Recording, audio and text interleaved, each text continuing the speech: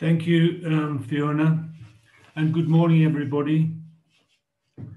It's, uh, it's an honor as a, a, veteran mining engineer to be invited to the ESG Inquisition, and uh, I'm definitely going to enjoy it.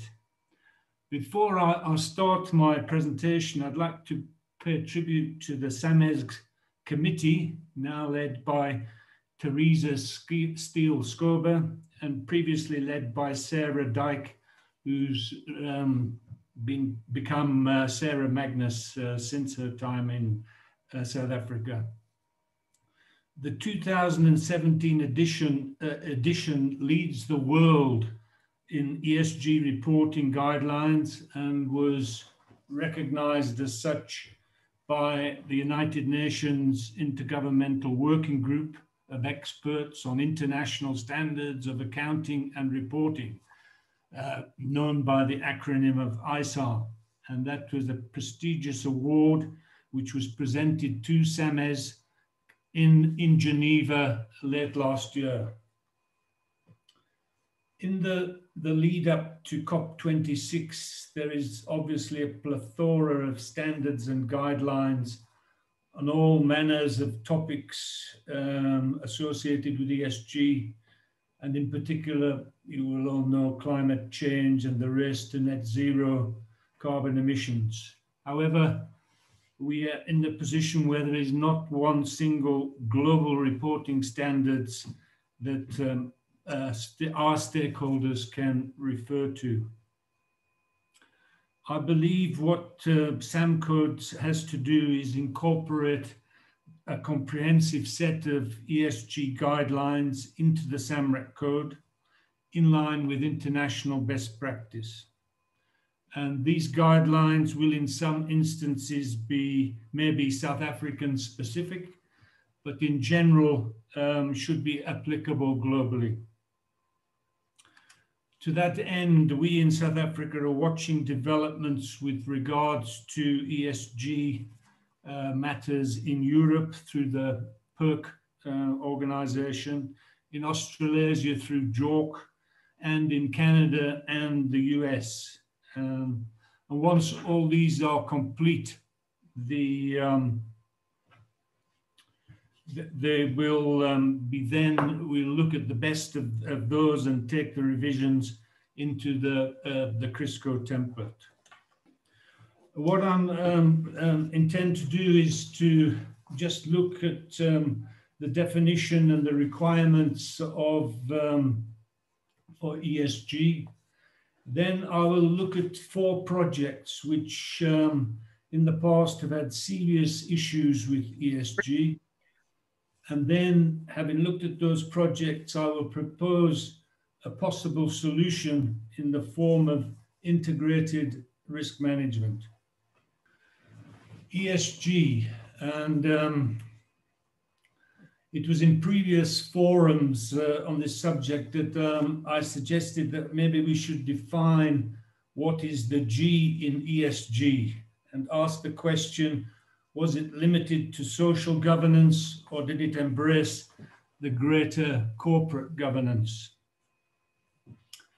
Um, because you'll notice it isn't ESCG, it's ESG. And um, in South Africa, we have the benefit of the uh, King 4 report, um, which sets out a code of corporate governance. And companies in South Africa are also bound by the Companies Act of 2008, and in particular, Regulation 43, which requires uh, a company to have a social and ethics committee, which has to provide oversight on the following areas. Now I won't I won't um, read these out, um, but this is a summary of what is is required. And then in that regulation 43, it is very specific on human rights, environmental protection, prevention of corruption, remedy of racial disparities, community development, and the support of charity. Obviously, some of these requirements um, are South African specific, but not many of them. So to me, it's, um, it's clear that the G requires reporting on corporate, corporate governance uh, in, its, in, uh, in, its broadest, and in South Africa, it's well-defined uh, sense. I would like to raise a, a, um, a point here on um, you know, having given the recent events in South Africa and, and also in many Southern African countries, I would suggest that there is also a need to report on the governance at uh, national level and how that impacts on, um, on mining projects and, and the mining industry. I've included at the bottom of that slide a reference to um, a book or a publication entitled Corporate Governance, the Director's Guide, fifth edition. And that's uh, a book that's very well worth reading uh, as we go into this uh, rewrite of the, of the SAMREC code with regards to ESG the the requirements on the left there for the env under environment are obviously uh, pretty clear, but uh, it's the subject of serious debate, as you've seen, and uh, some of the big questions will be whether we have to disclose greenhouse gas emission targets uh, or metrics, and and um, and whether it's going to be scope one and two emissions or scope one, two, and three. And obviously, there'll be much debate on this in the coming weeks as we go into COP26. I, I, um, I, w- I won't express an opinion on, on this, but other to say that um, it's very difficult to set hard and fast targets when you're faced with so many uncertainties. Now, if I go on to um, my next point. Um, in preparation for today, I went back to a presentation I gave uh, uh, in October 2014 to the Mongolian Professional Institute of Geosciences and Mining. The acronym there you can see MPIGM. And that was in uh, Ulaanbaatar in Mongolia. And it was my task as part of the CRIRSCO delegation there to give my view on what was required in a reporting standard in terms of environmental and social modifying factors. And you can see the, the term governance didn't, um, uh, didn't appear on that slide. Um, and then um, I was obviously leaning very heavily in that presentation on the, the original SAMESG guidelines which had uh, just been developed. In that presentation, I went to the World Economic Forum and they had issued in 2013 the top 10 global risks. And um, I'm going to read through them, but as I read through them, I want you to just envisage South Africa today. This was in 2013, and it was applicable to, to, um, to the globe. Fiscal, the top risk was the fiscal crisis in key economies, structural high unemployment and underemployment, water crises, severe income disparity, failure of climate change mitigation and adaptation, greater incidence of extreme weather events, global governance failure, food crises, um, failure of a major financial mechanism or institution, profound political and social instability. When revisiting these risks in a COVID-laden 2021, one has to ask what is what has changed. So I went um, after that through four examples of projects which demonstrated that all was not well in the realms of ESG and demonstrated the need for more detailed reporting requirements when reporting mineral reserves and mineral resources. And when you look at these uh, examples, which I'm going to show you, you will probably say, why didn't I use current day examples, of which unfortunately there are many.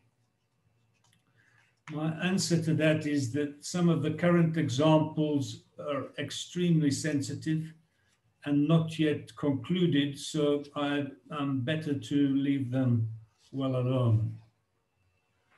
The first project um, was uh, Montana. That was um, a proposed open pit gold and silver project in Romania. The village um, has a history of over two millennia and it hosts Roman mining galleries and architecture spanning centuries.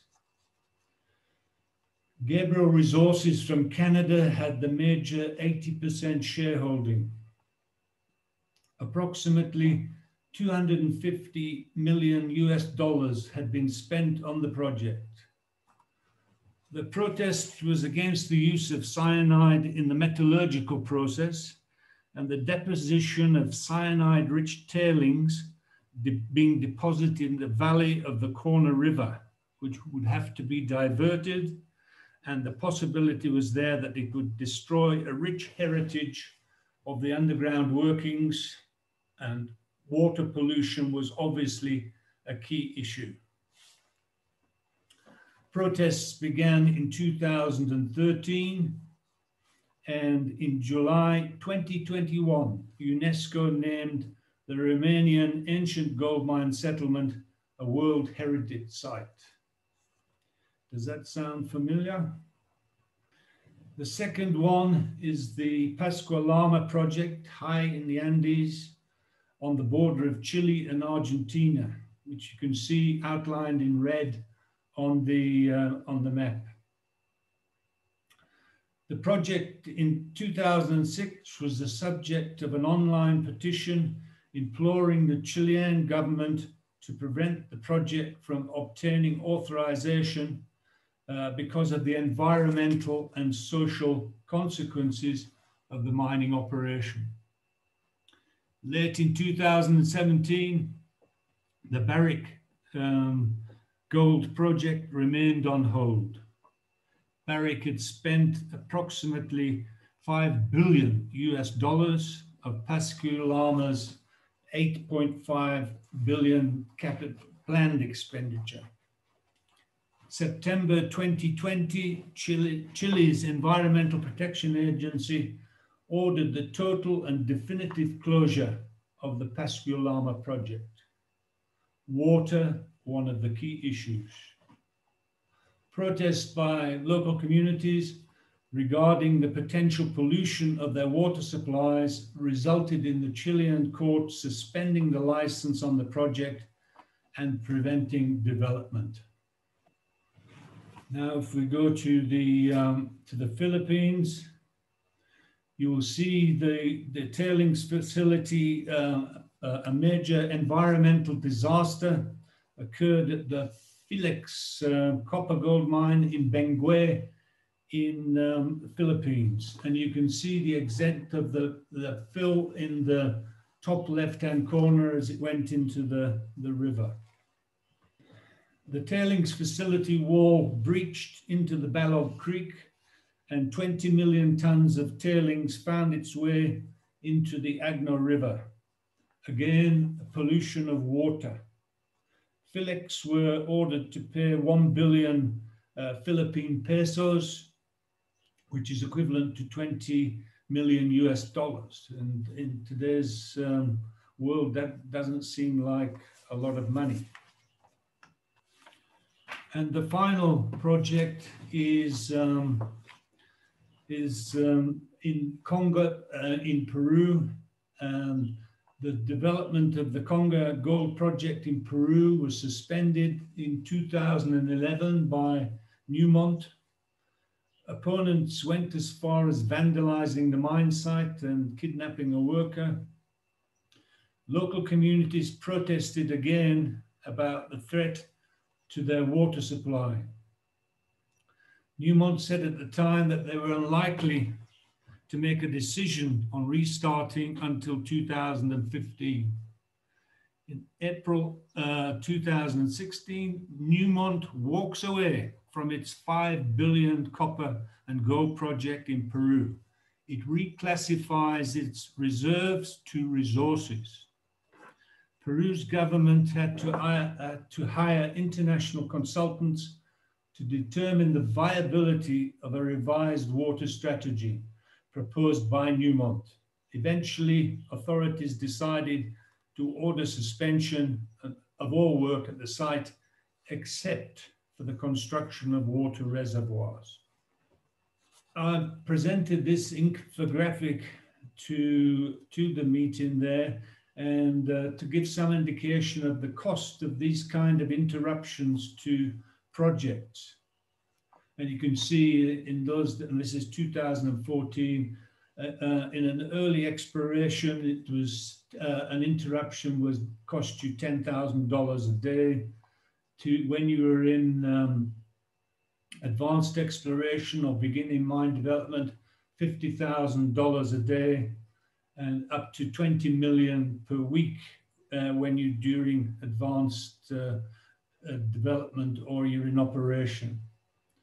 This, of course, does not uh, say what the cost may be to other stakeholders, such as governments in terms of taxes, local communities, and suppliers in terms of jobs and business.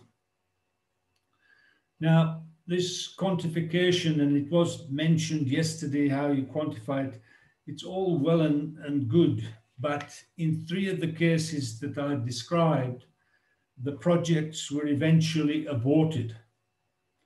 So there has to be another way of reporting that gives the reader the confidence that all residual risks are manageable and that uh, obviously includes re residual risks in the realms of uh, ESG. Now, this is what I, I, call my I told you so um, slide, which maybe I shouldn't have put on, but um, as part of my concluding remarks, uh, I urge the uh, CRIRSCO members to address the social, uh, environmental and social modifying factors um, and, in, and, incorporate them into their, their respective codes. Otherwise, um, others would do it for us. And that, unfortunately, despite our best efforts, is exactly what is happening. Now, to get on to my proposed solution um, for this is that um, my suggestion that uh, uh, an integrated um, risk management um, analysis and management is undertaken. And how you do this is that um, you take a multidisciplined approach and that covers all disciplines, not just a, a narrow few. That where the high risks are identified, and when those high risks are identified, you then put in mitigating actions and everybody, you know, all the disciplines are involved with that. And then um, we come with a, the, the residual risks are then described to the, to the reader. My experience with risk assessments uh, and management risk management is that they tend to be discipline specific.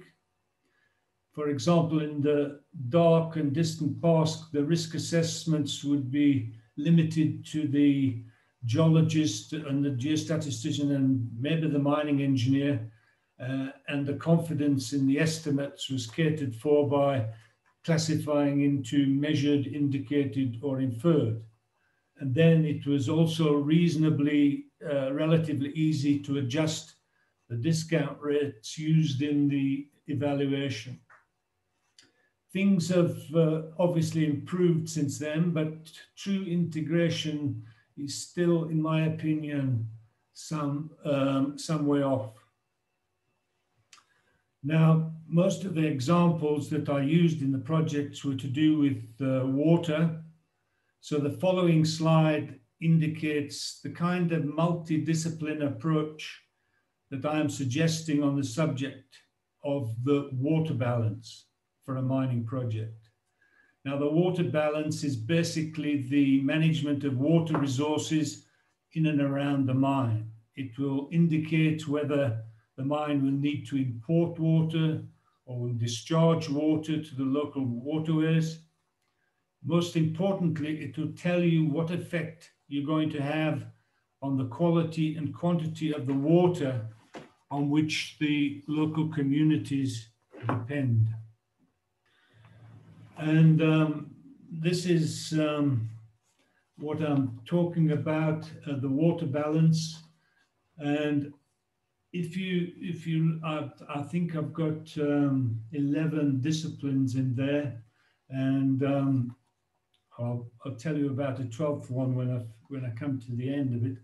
Um, but we would have the disciplines, geohydrologists, obviously, the study, who studies the groundwater and its effect on the physical environment, the hydrologist who looks at the movement of groundwater uh, between aquifers, the environmental scientist, look, a scientist looking at the effect on biodiversity and the environment as a whole. Obviously, the social scientists, which would um, would um, be look at the effect on the uh, dependent population and would be responsible for a lot of the communication around this process. The mining engineer is still there uh, he would be looking at water usage in terms of uh, how much water, tons of water you use per ton of uh, rock produced. In recent years, those figures have gone sky high. The geologist would be there to look at the um, structural geology and assist identifying the movement of the groundwater through the um, aquifers the ventilation engineer who would look at the cooling requirements, how much chilled water is required, the mechanical and electrical engineer who would be looking at the pumping and piping in the, in the shafts and uh, in the open pits, uh, the civil engineer for the design of water dams and storage, the storage capacity, the metallurgist or the process engineer would be uh, looking at uh, in, uh, how much filtration was going to be um, undertaken, what the density of the um, tailings is going to be going out to the tailings dam, the water usage, um, uh, the tailings engineer will be looking at the water usage, the discharge, the reuse, and uh, most importantly, the, with the tailings um, engineer looking at the zone of influence of that uh, tailings uh, deposit. Uh, yeah, deposit. And then the one that I added, uh, I almost forgot it was the legal representative. Is most important that uh, he's on there, but it may be a bit expensive, so you won't always get him on the on the team. And then yesterday, after I listened to Kevin Davis, I had to I had to uh, admit that I'd left out the accountant. And after uh, Kevin's um, um, presentation yesterday, we should include the chartered accountant. Then, you know, they informed as to what's going on. Now, it is important that this type of integrated risk analysis and management is conducted early in the exploration phase during the development, during the operation, and at mine closure. And even more important is that the communities in and around the mine and the mine projects are consulted and informed on an ongoing basis of the risk analysis and the risk management. And that concludes my presentation. I just want to leave you with this slide, which I thought, well, gives food for thought. And as my projects were all involved uh, with water or about water, number six uh, Sustainable Development Goals of the United Nations is clean water and sanitation. And remind you that there are 2 billion people around the world who do not have access to safe drinking water. So we have got an enormous job uh, ahead of us. And that concludes my presentation. Thank you. Uh, thanks very much, Roger, um, for that for that interesting keynote address. Does anyone have any questions? We have we have we do have two minutes for questions. If anyone has a question for Roger. Morning, Fiona and Roger. It's Teresa here from SAMESG. Um, I just wanted to say, Roger, thanks. I thoroughly enjoyed your presentation and thanks for the for your contributions to SAMESG um, because we've had lots of really good discussions and, and the support of yourself and many others has made, you know, SAMESG the guideline that it is and that we, we're working towards achieving with the next edition. So just to, to acknowledge that and say thank you for your support. Thanks. Uh, Roger, um, as Fiona, I have a random question about uh, drinking water um, and the input from the mining sector, because we've discussed a lot about um, prevention of contamination of drinking water, but are there any stats on how, how, how what a positive impact the mining industry has had on on drinking water through development? There, there, there, there, are statistics available on um, in South Africa um, and probably the world on the, the number of people who have access to clean water. And um, from, from those statistics, you can see where there are trends around mining mining company areas or mining areas. Um, I haven't got them at my uh, fingertips, but uh, there are statistics available on that. Okay, thank you. Roger morning. Roger morning, it's Bruce Williamson here. Um, just a question, at that early stage when consultants and mining companies um, start the project and engage with the community, do they include government representatives to also be part of that, that picture? I would say they don't, Bruce, but uh, it may be a good idea uh, to include them at that early stage as well. Um, I see we have one more question. If it's a quick question, we can just uh, we can just fit it in if you'd like to, to raise your question now. Uh, yes, I have just uh, an insight because I am new in this business. Hello, my name is Linda and I'm from Wits University and I'm teaching mining geologists to the third year uh, mining engineers. And I'm going through the ESG uh, when I go through the modifying factor. And since uh, you, Roger, have a lot of experience, what would you like that I teach to these future mining engineers that are coming to the industry?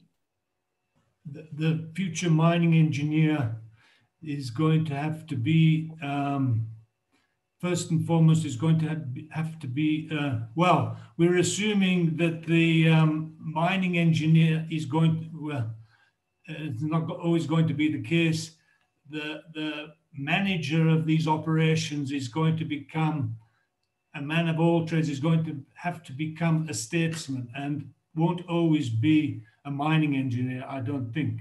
So the profile of the of the of the guy that leads or the lady that leads these operations is, is going to change and it's going to be able to have to address all these um, other issues and principally the ESG issues, he's got to be a statesman. And, um, that's why I'm proposing that multidisciplinary approach. They all have to have their input into defining those risks and putting into and and um, and mitigating those those risks.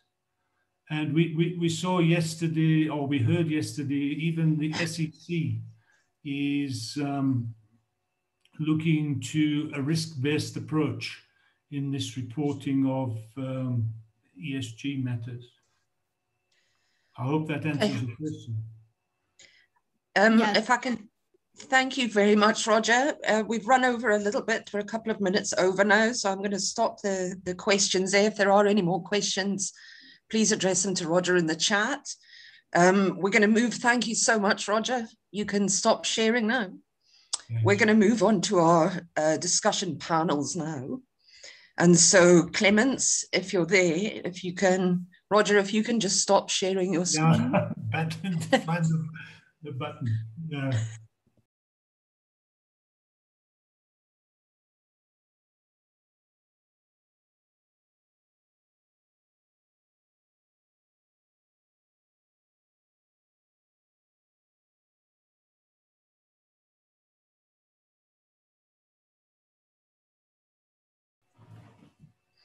Okay, great. Clements, can you start sharing your screen, please?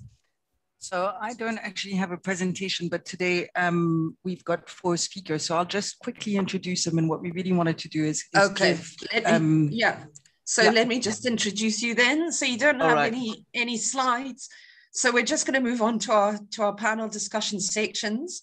Um, and Clements McNulty is going to going to lead us through the discussion on how companies deal with, deal with sustainability and ESG reporting. So it's over to you, Clemens. Thank you.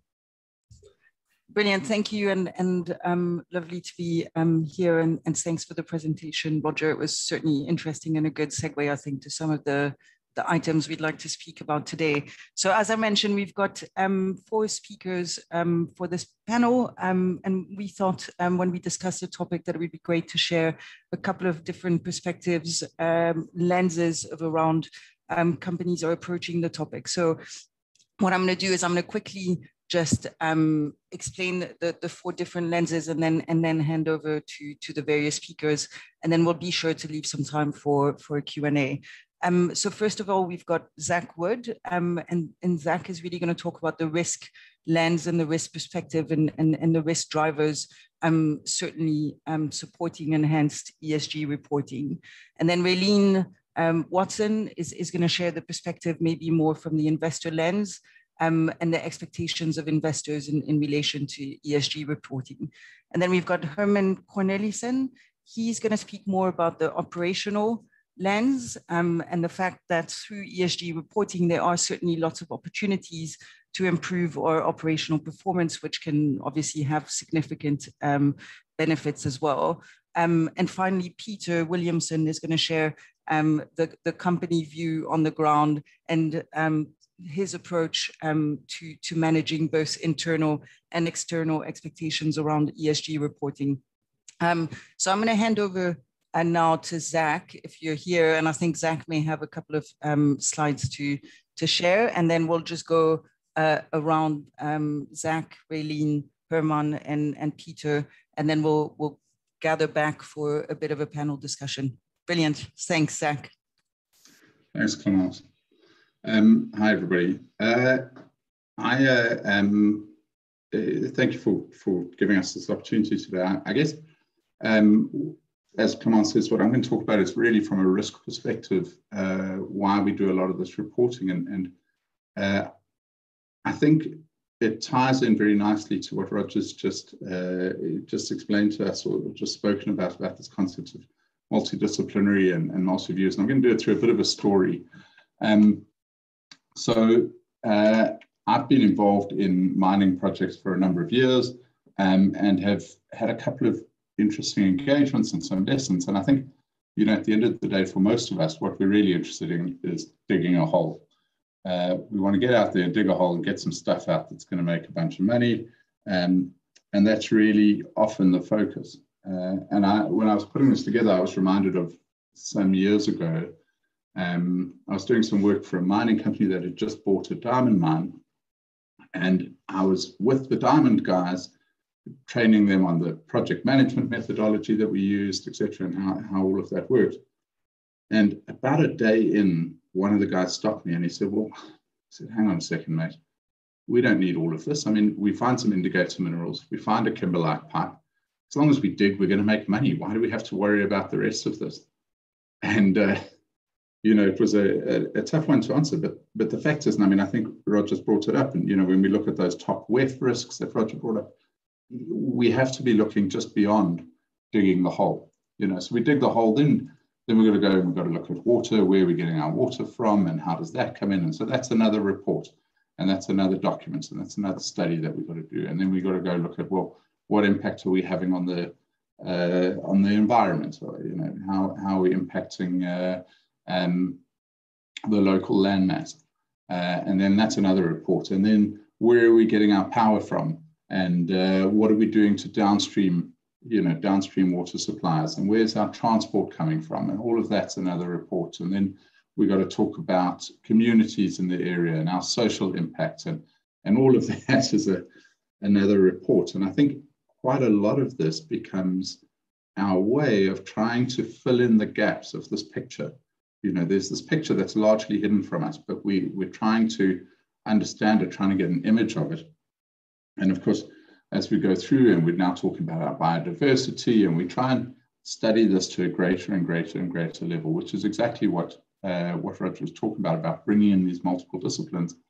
But we're trying to break down in each of these disciplines, where are the bits that we're missing out of this picture? And of course, we're still missing stuff from this picture because we haven't yet considered the big glacier sitting off to the side of our mind. And, you know, we need to keep uh, understanding this um, from a risk perspective, that what we are trying to do is draw this imperfect picture and understand what this imperfect picture is.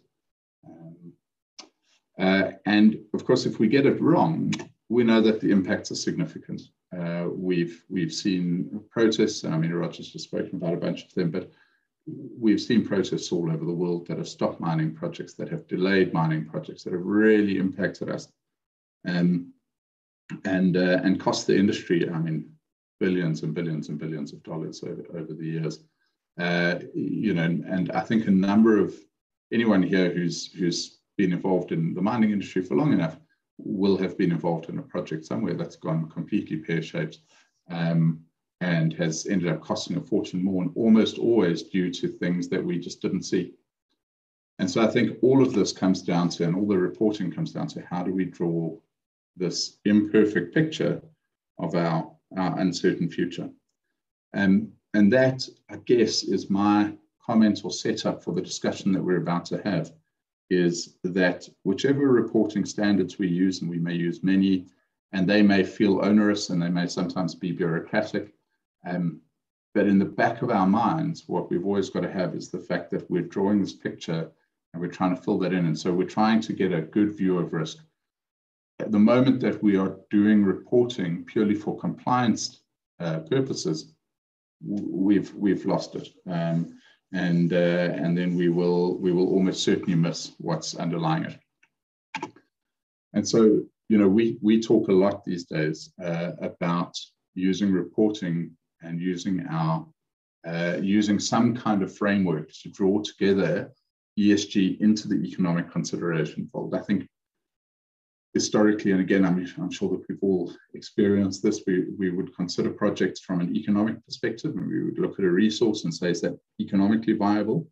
Um, but we focus so much on what is the economic contribution, what's the impact there, that we ignore the E in ESG, or we might say, let's consider this economically, and then, okay, well, we'll we'll kind of use ESG as our uh, as our stage gate or as a last check we have to draw that together. We have to bring that into a single framework and a single uh, unified view.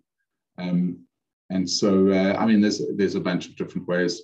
We like the ESGs, uh, uh, sorry, the SDGs um, for bringing bringing them all together. But uh, you know, there's many many ways to uh, to slice up this pie. and to understand how this could work. The concept remains the same. And I think it's the same thing that Roger was saying is we need to structurally bring together multiple disciplines, multiple approaches, multiple lenses, multiple views in a way that uh, is cogent and makes sense across all of the different aspects of our industry and be able to compare apples for apples across those, which can be difficult. But, uh, but certainly there's a, a, lot of good work out there and a lot of concepts and, and uh, ideas that, that exist in ways that we can do this. And yeah, the, the last thought I'll leave you with is really that, that whatever you're doing, wherever you're reporting, whenever you're considering anything to do with the mind, I mean, it's important that in the back of your mind, you remember that there's a, there's a greater picture uh, at stake.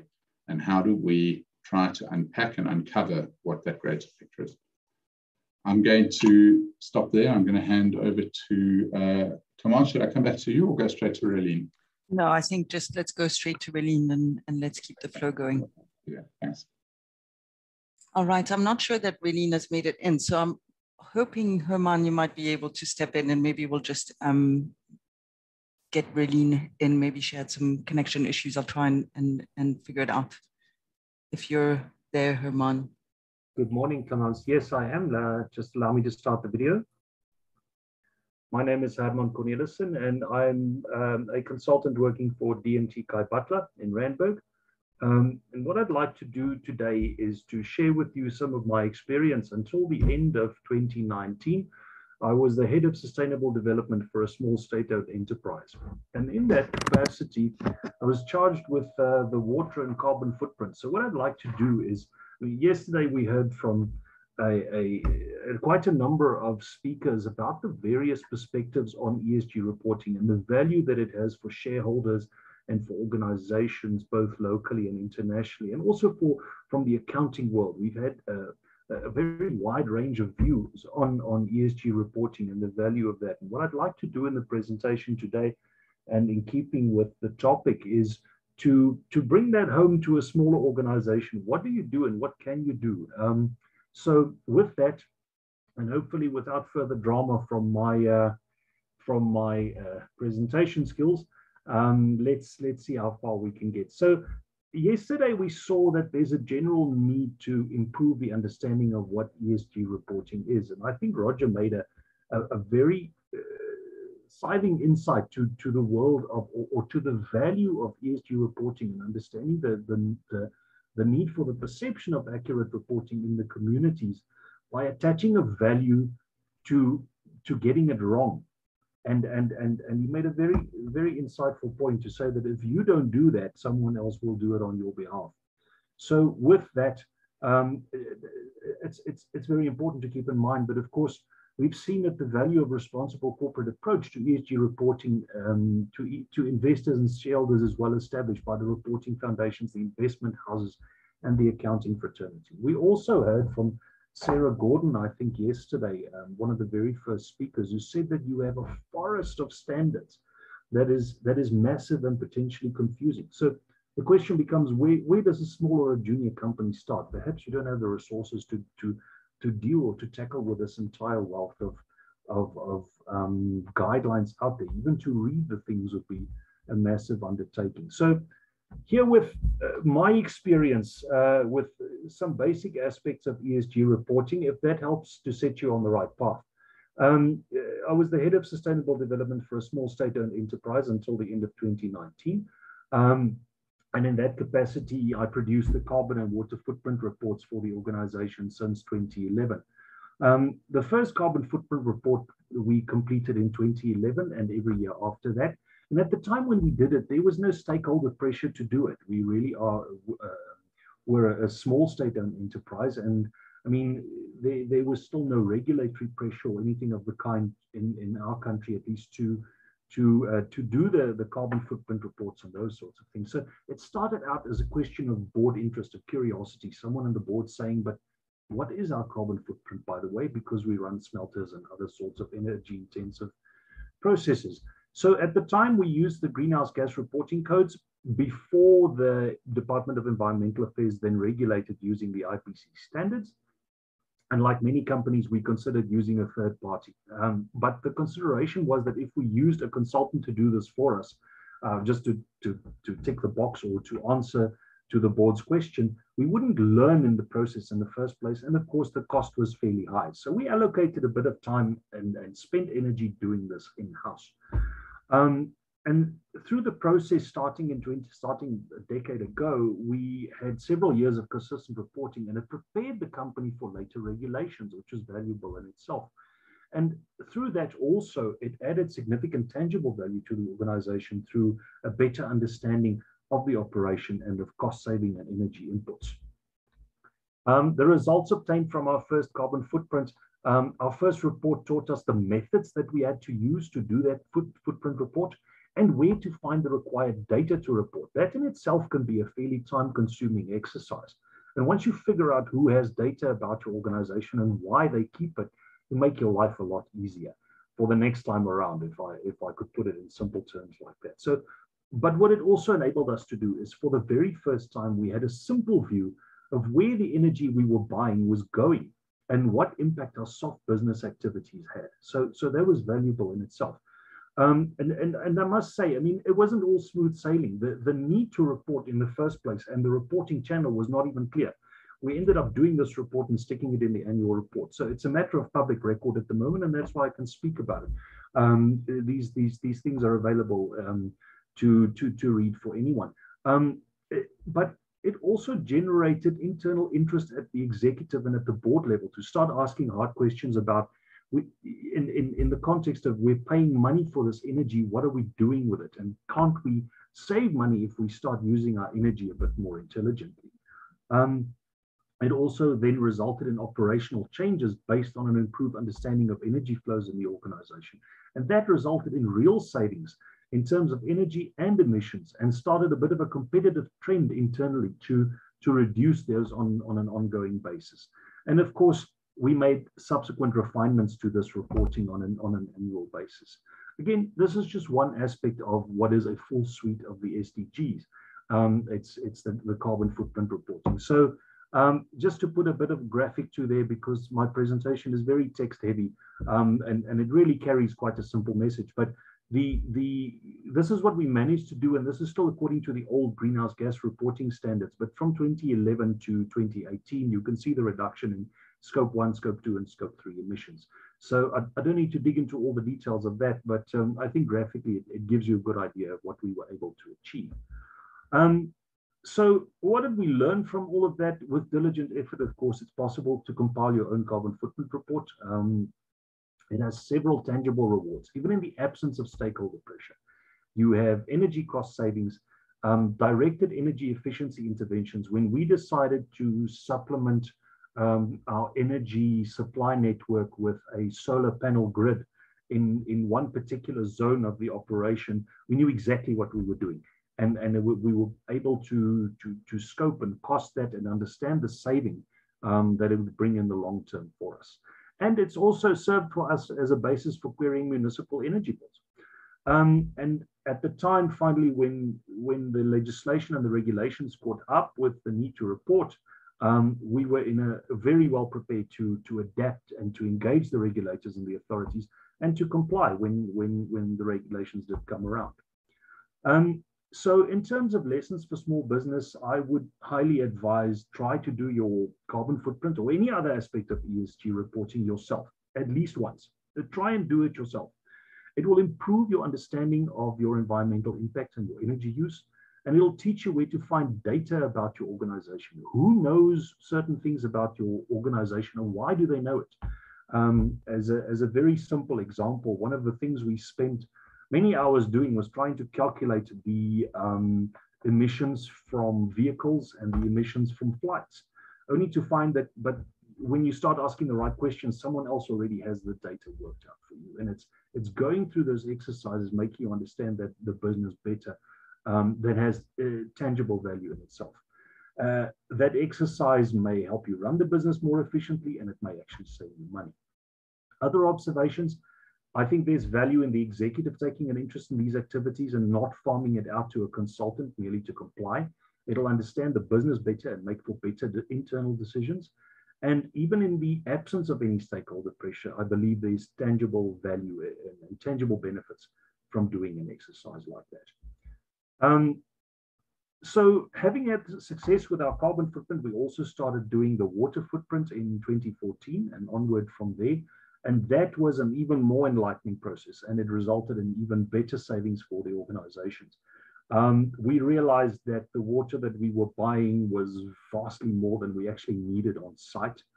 Um, we detected many water leaks on site through better measurement, which resulted in the direct cost saving. And we were able to take better decisions on alternative uses of water on site to channel stormwater better, to, to try and capture and distribute that better, all within the allowable regulations, of course.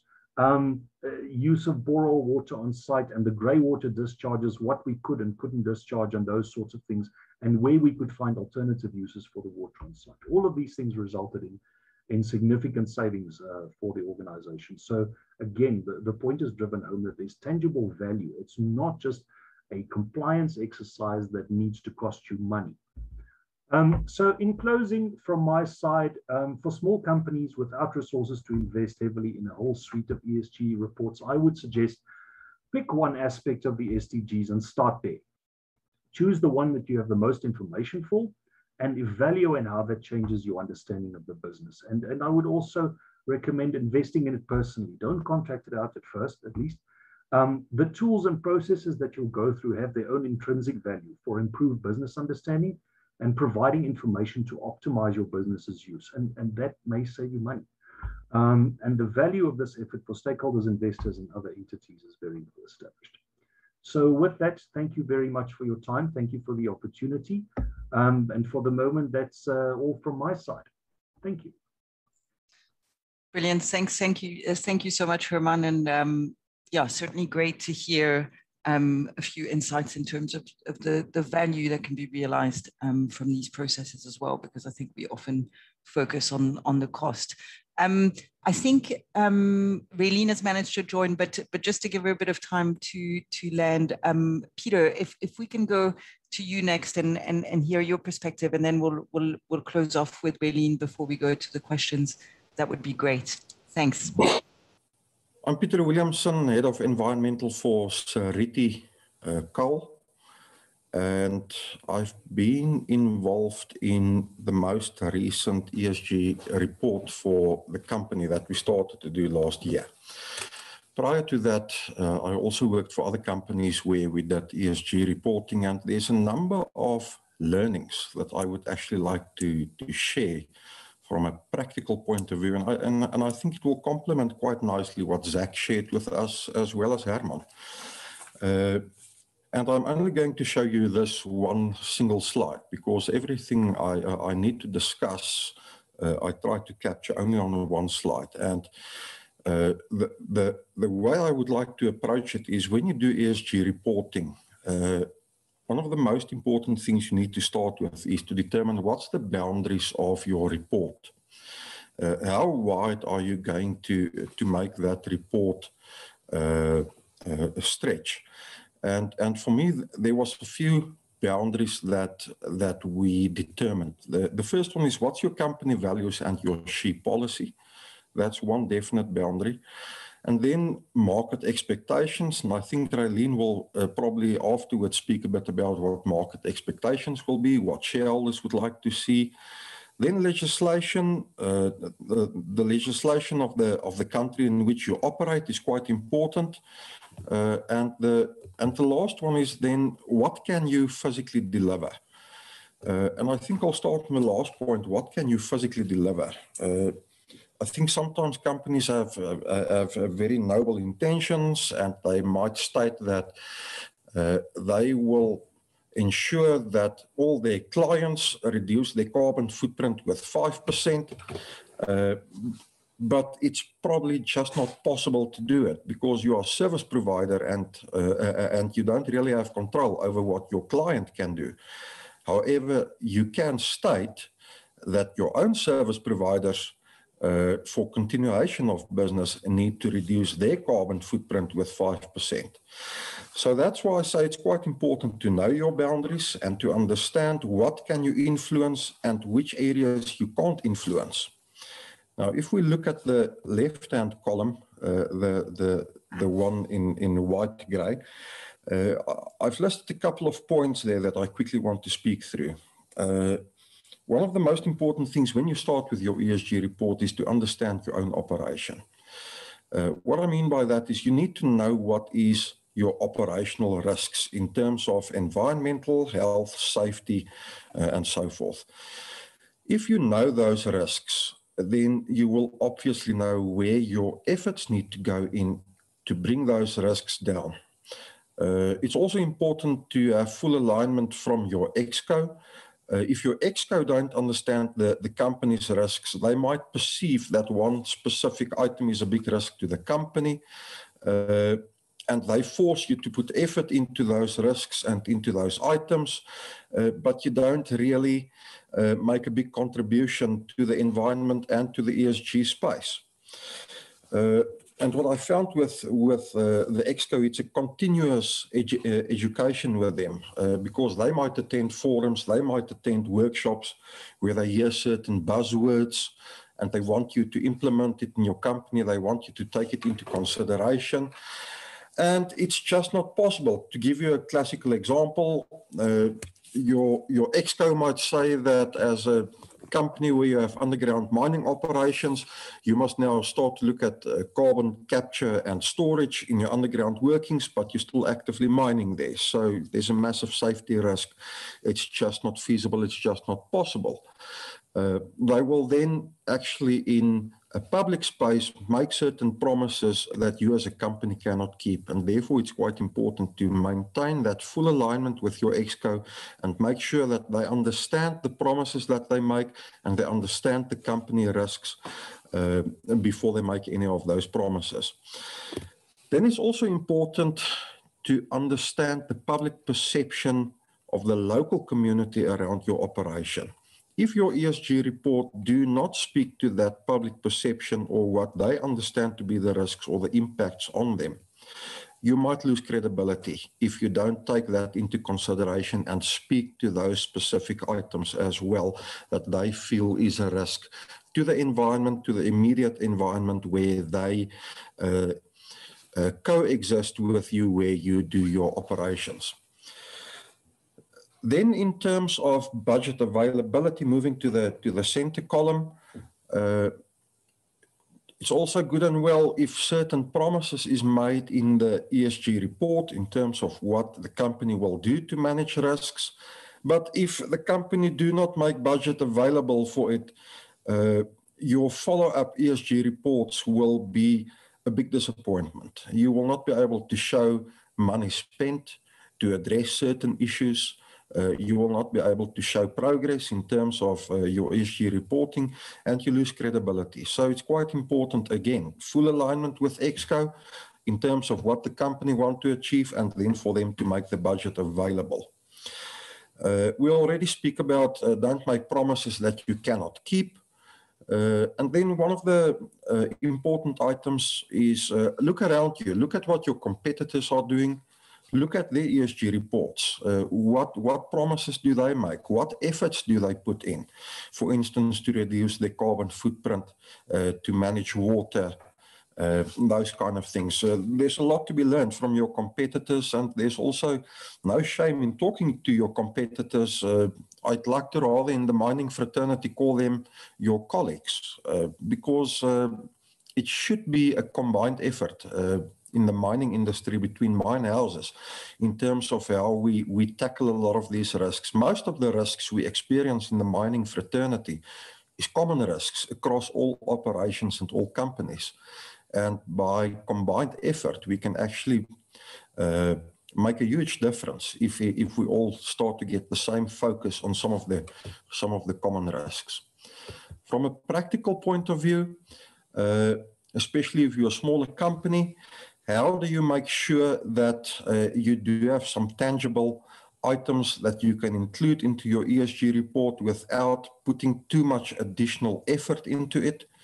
Uh, and one of the biggest learnings that we learned very quickly was everything you do, you need to capture. Uh, if you capture it properly, and if you have certificates, if you have data, then you can report on it in your ESG space, either with regards to uh, job creation, with regards to carbon footprint reduction. Uh, make sure you capture everything and in some other way you will be able to report on that as a positive in your ESG report. Something important to also remember, everything you do uh, probably have a carbon footprint. You just need to figure out how to convert what you do into a, uh, into a carbon unit. If you use electricity, if you burn diesel, if you have waste disposal, if you do waste recycling, all of it have a carbon footprint. Just figure out how to convert that into a carbon unit and you can start to declare savings. Uh, then also, uh, biggest bang for your buck. Uh, again, if you understand your risks and you understand your biggest risks, uh, obviously you, you, you want to make most budget available for that. Uh, and it comes back to the previous point as well. If you capture everything that you spend money on, uh, you should find a way to declare it in your ESG report and, and get some positive spin-offs from it. Then the last one is something that we often do within our own space as we do ESG reporting. It's sometimes good to leave a little bit of space for improvement. If you have a specific trial or specific project, uh, it's good to explain the project. Uh, and if you have some preliminary results, uh, it might be best to, to leave those pre preliminary results to mature into complete results to share within the next year's ESG report. Uh, the, the, timing is quite important. If you have a project, uh, don't try and cram everything into one ESG report. Leave something on that specific project that you do uh, to continue over into the next ESG report. However, it is important to make people aware that you are busy with such a project. Uh, and from a practical point of view, these are some of the points I just wanted to share with you. Uh, Clemence, I didn't watch the time, but uh, I hope I didn't went too much over the time. And this is what I would like to share with the forum uh, in today's session. Thank you. Brilliant. Thanks, Peter. That was that was really great. And I think some of these practical points around aligning really the internal realities with the, the external expectations was, was really great. Um, so I think um, before we go to some of the questions, it would be great. Raylene, I think, has joined us, and she'll um, just share some thoughts um, going back to to the external um, lens and, and the investor expectations specifically, um, and, and how to address those. So Raylene, I'm going to hand over to you, um, and hopefully you you'll be able to to share some thoughts around this. Okay, so as mentioned, my main focus is looking from the outside in. So, what do key investors want to know about ESG and why are they focusing on this specifically? This will really probably provide some insight as to why they ask specific questions. And if you're on the outside, such as a subcontractor or a service provider to a company, this might also provide insight as to why certain companies are asking for information in a certain format um, and why they focus on specific um, inputs when, when they give you um, terms of reference or, or uh, focus areas for, for assessment. So really, what are they what are they trying to tick off? What are their key the focus areas? And here we're talking about people who invest money. So possibly a, a financial investor, someone who may may provide debt funding, such as uh, a bank, for example. Um, they may even, you may also include in here your regulators um, into the basket. But really, these are the people who are really evaluating the company and assessing whether or not um, there's value there and, and whether or not they actually are managing their risk and overall opportunity uh, creation within the business correctly. So, what are they really looking for? for? The first is really risk management.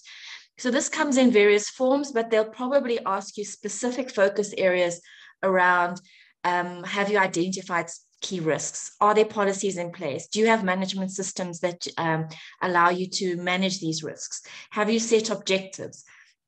Are there set KPIs that you've uh, identified where you can track um, improvement measures? So the next key focus area is measurable.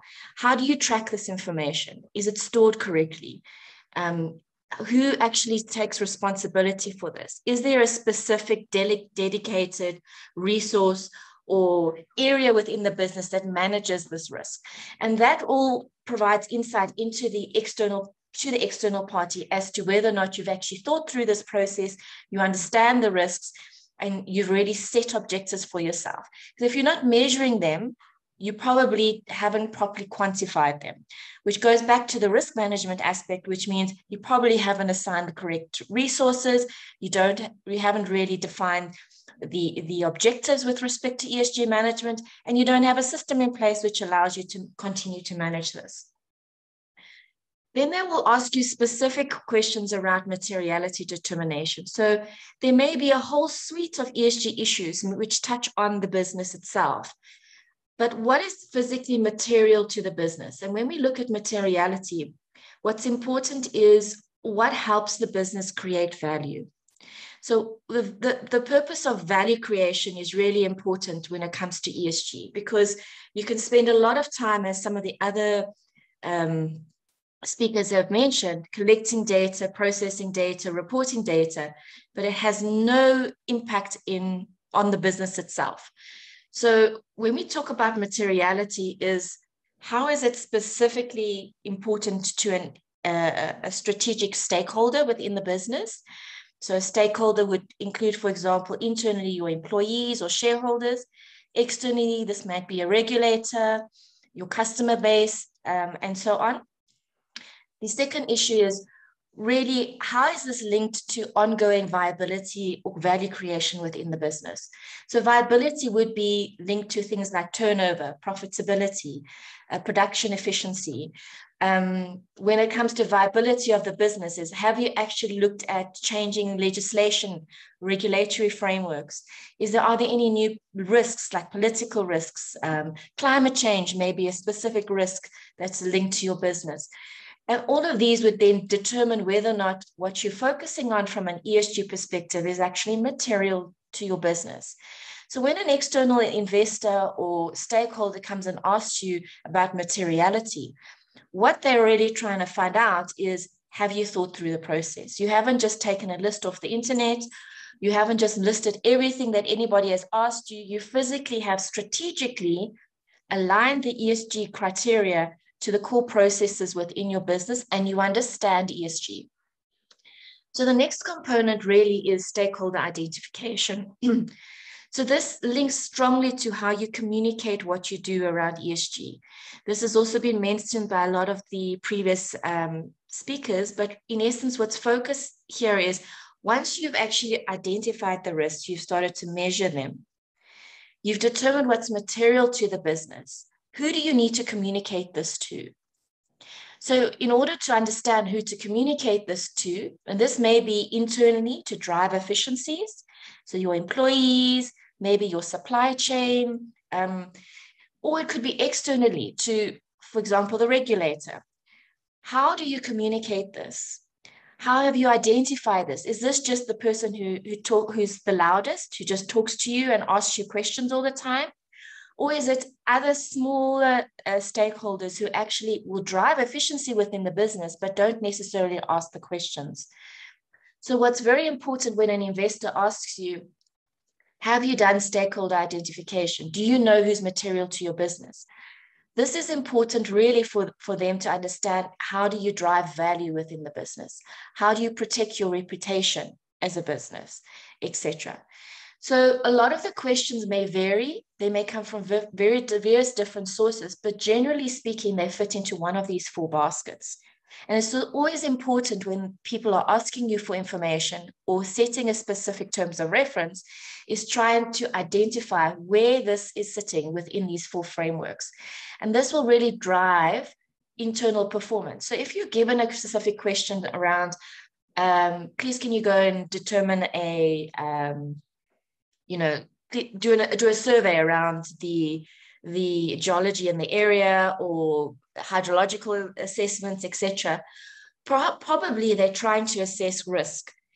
And that really sits around risk management. And finally, when you present that information, you need to understand exactly how you present it so they can incorporate it into their business processes, define that risk, determine the measures that they're going to use to manage that risk, see, identify exactly where it's material to the business processes in managing that risk and then how they would communicate it so really limiting yourself to re- to just articulating the terms of reference itself may not be enough for them to actually translate that into something that's beneficial to the business.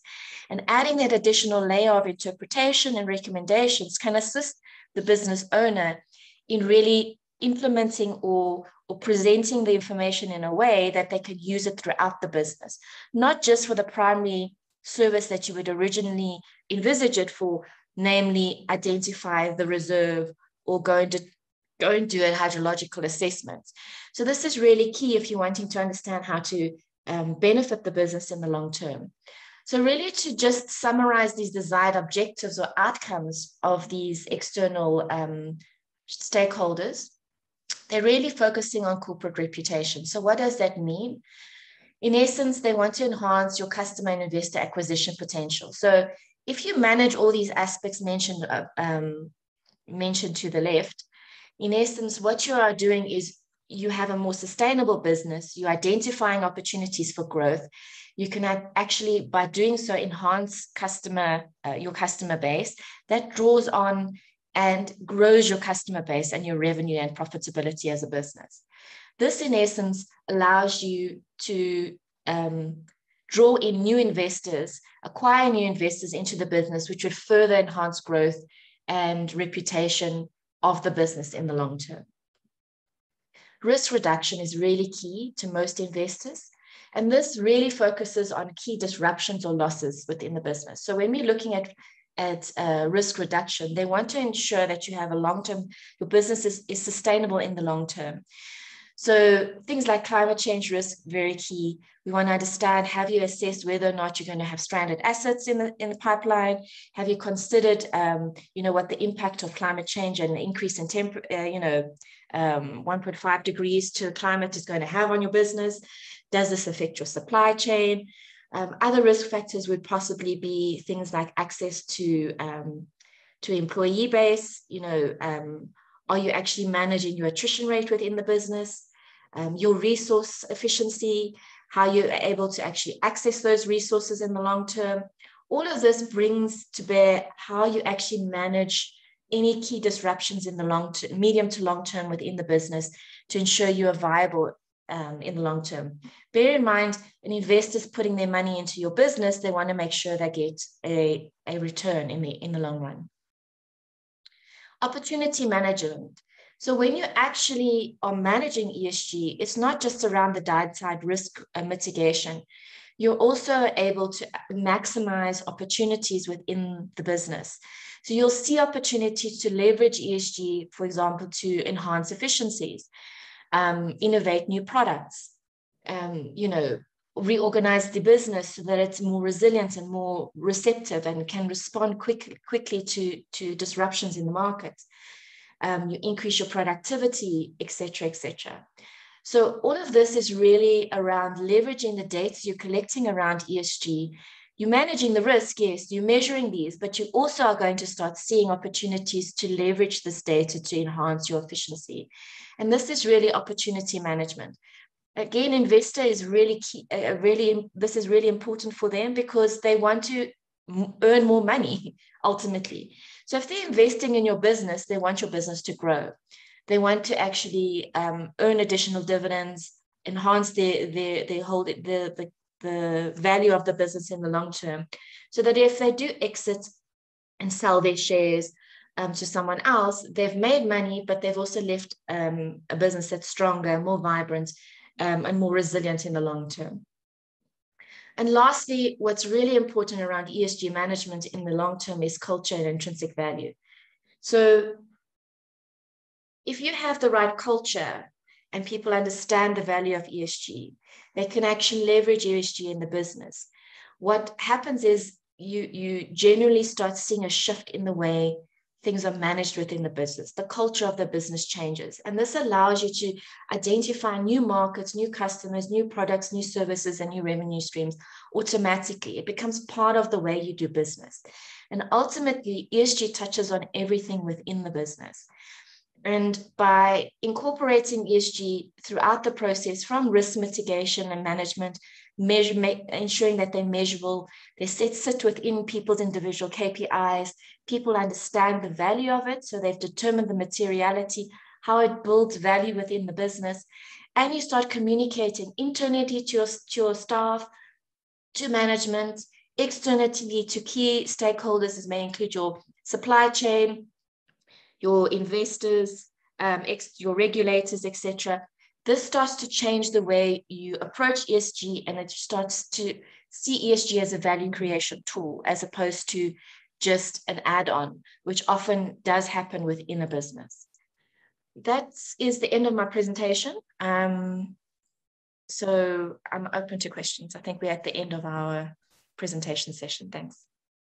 Brilliant. Thanks, Verlene. And I think it's such a great um, way to conclude. Certainly, I think um, through these presentations, we've, we've highlighted the importance of, of managing ESG to mitigate um, risks. But I think it's it's a really it's, it's a really great way to conclude to consider how ESG can become a differentiator. Uh, and and certainly some of the trends that we're seeing in the market indicate that ESG will become a differentiator, and there's a great opportunity for the mining sector to really integrate ESG in a way that will ensure that as we um, provide the, the, the, commodities that are needed for some of the, the transitions that we see coming in the future years, we also um, extend um, the contributions that we can make to, to society um, through really strong ESG management. So I think we have about five minutes left, um, and I would really love to provide some time for any questions that might um, have arisen from, from the floor.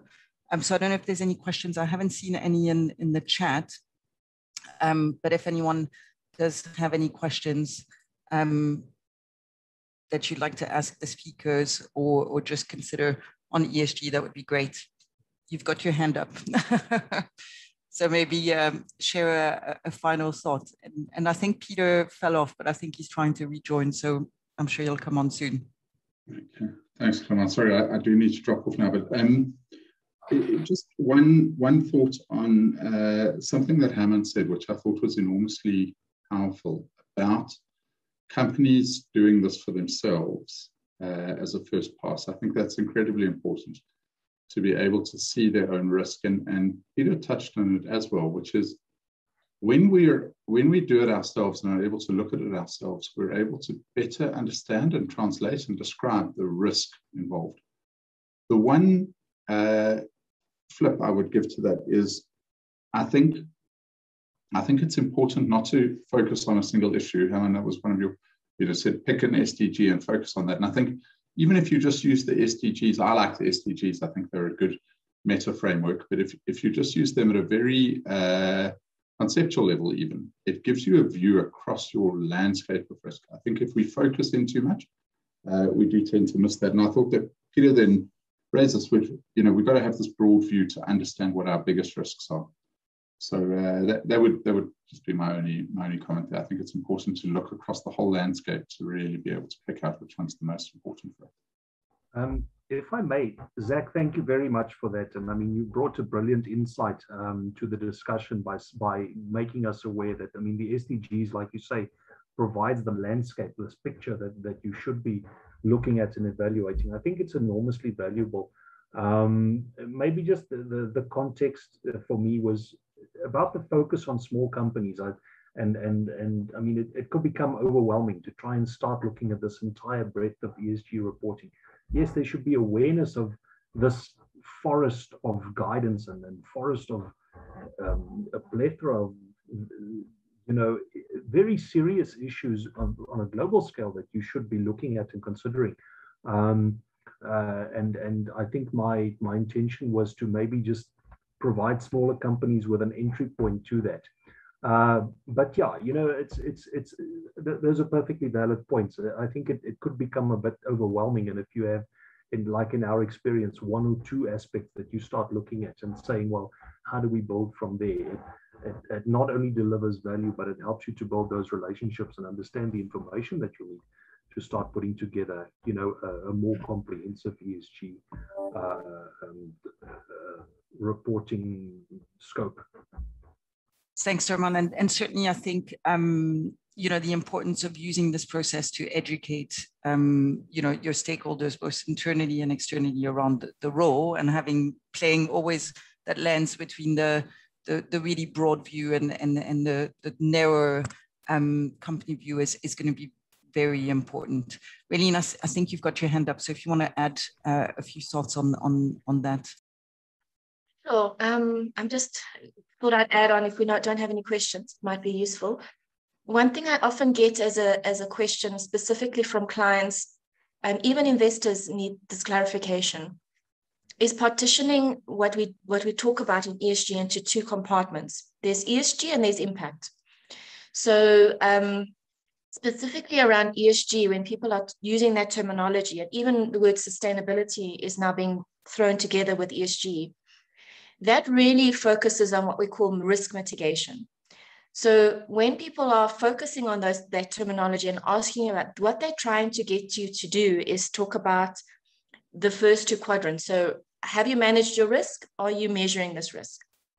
When they talk about uh, impact specifically, that is around the value that you've created within the business or in society. And this is where you would start using things like the SDGs. You start using um, other metrics to start looking at um, things like efficiencies in the business, production uh, efficiencies as one area. This may link to things like energy reduction, water reduction use, or even efficiencies within your, your uh, employee base by training and developing. And then there's the impact to society, which is really how you measure with what the SDGs are focusing on, is how you actually leave a legacy or, or um, provide input to things like reduction in poverty, um, you know, economic stimulus, job creation.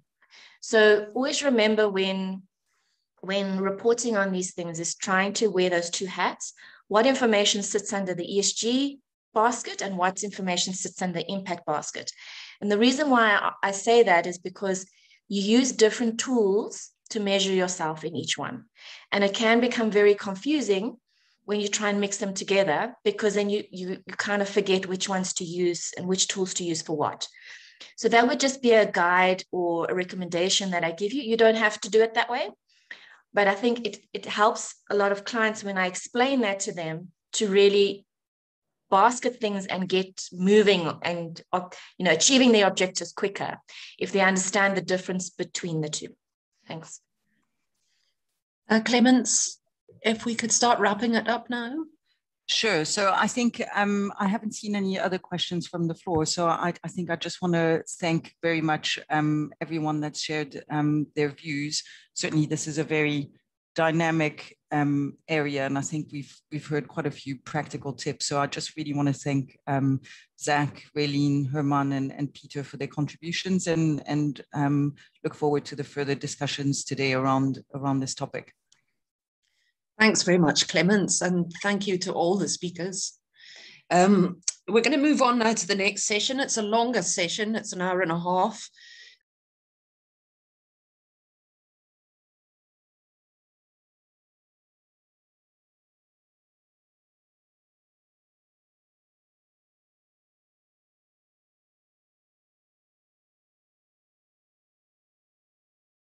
So it's over to you, Tim. Okay. Uh, yeah, thanks very much, uh, Fiona. Uh, I've, I've got my camera on, but for some reason it, it looks like some kind of uh, video from the 18th century. Uh, so I might switch it off just now once you realize uh, I'm also not a robot. So I'll just leave it on for the first couple of slides. But yeah, we, we've got a, a 90 minute slot here. And we as a panel were very keen that we certainly had opportunity for the 140 people participants uh, uh, in, in this virtual conference to uh, actually voice their opinion and get involved. Uh, so I just want to say that given the diverse array of presentations we've had so far, I do believe this particular panel session uh, is actually critically important uh, to give an opportunity to, to, canvass opinion from the broader uh, range of participants in the conference.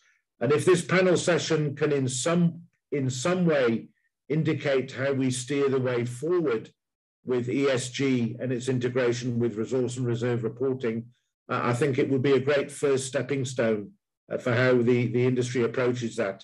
So uh, let's go to the next slide, uh, Charlene. I'll take my camera off for now. Uh, I'd just like to introduce the panel uh, and the set of slides that we're going to run through uh, to set the scene and the context uh, are a consolidation of inputs from the entire panel. So it's myself moderating the session, and you can see my sort of 35 years industry experience there. Um, We've got Shepard uh, Kazvitsi uh, from African Rainbow Minerals, uh, John Murphy uh, from Mineral Corporation, Jaco Boshoff, uh, who's also the lead CP for, for Harmony, uh, and Charlene Wrigley, who works uh, with myself uh, in Goldfields uh, as the Group Sustainable Development Manager. and I think what's really important about the makeup of this panel is that the, the five of us are, are very firmly rooted in the critical space in the value chain that's at the interface where mineral companies actually report into the public domain. So uh, a number of us, uh, I think myself, Shepard and Jaco in particular, are company lead competent persons. So if you report uh, at the end of this year, for example, through the SEC under the new SK reporting rules as a New York Stock Exchange uh, member, uh, the lead competent person has a significantly elevated accountability uh, and liability when it comes to the integration of ESG information into the normal technical reporting. Uh, so it's particularly important from that perspective. Uh, if we just go to the next slide, Charlene. Thanks. So what we'd like to cover uh, initially before we open the floor to discuss what I, what I hope we'll see as uh, the hot topics is uh, the survey results. Uh, obviously, Tanya and the team sent out a, a pre-conference survey, and we'd like to give you some feedback on the top themes and issues flowing through from that. Uh, I'll cover off on what some of the uh, the current industry trends are, and the key and the key drivers behind ESG content in technical reporting. Uh, we'll briefly touch on uh, what we believe are some of the key pitfalls to be avoided. Uh, and then to help trigger discussion, uh, we've got two slides that capture what we believe are the elephants in the room uh, on this particular topic. Uh, and I've got what we call a parking lot. Uh, and if there are particular topics or, or themes or queries that crop up during the panel session, we'll put them in the parking lot uh, if, if they need further follow-up and discussion outside of this particular conference. Uh, so that's overall what we want to cover in the next uh, hour and a quarter or so. Thanks, Charlene. So I, have just done this, uh, we've done quite a lot of industry scanning and, and, talking to people, and obviously we're aware of the, uh, the survey results. And I just wanted to uh, drop a couple of comment balloons down on this slide, just to see, show you what people are thinking. so for example, the top left-hand corner, ESG disclosure is, is quickly becoming a discriminating feature for investors and funders in the industry. So people are making decisions on what stock to buy based on what they're seeing from ESG uh, reporting in mineral companies. On the top right hand side, we're hearing from a lot of people that uh, understanding, assessing, and communicating the material ESG factors in the correct context is rapidly becoming uh, an essential uh, capability of, of the lead competent person in a mineral company. Uh, the bottom right hand corner, we need to be aware of the exploding reporting burden. Uh, and I think uh, the people on this, uh, on this conference and potentially involved with future working groups certainly need to have a key focus on managing that reporting burden, that it doesn't become too onerous and continues to add value. Uh, and I think I'll just pick up one more off there is uh, there's clearly a mixture of uh, anxiety, uh, but also enthusiasm about what ESG integration in resource and reserve reporting really means. Uh, but anxiety, and enthusiasm are the, are the two themes, uh, key themes uh, flowing through there. So there's very much a, a, diverse view of what this all means to the industry uh, currently. Thanks, Charlene.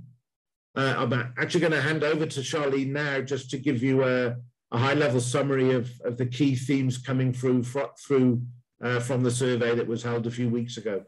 Thanks, Charlene.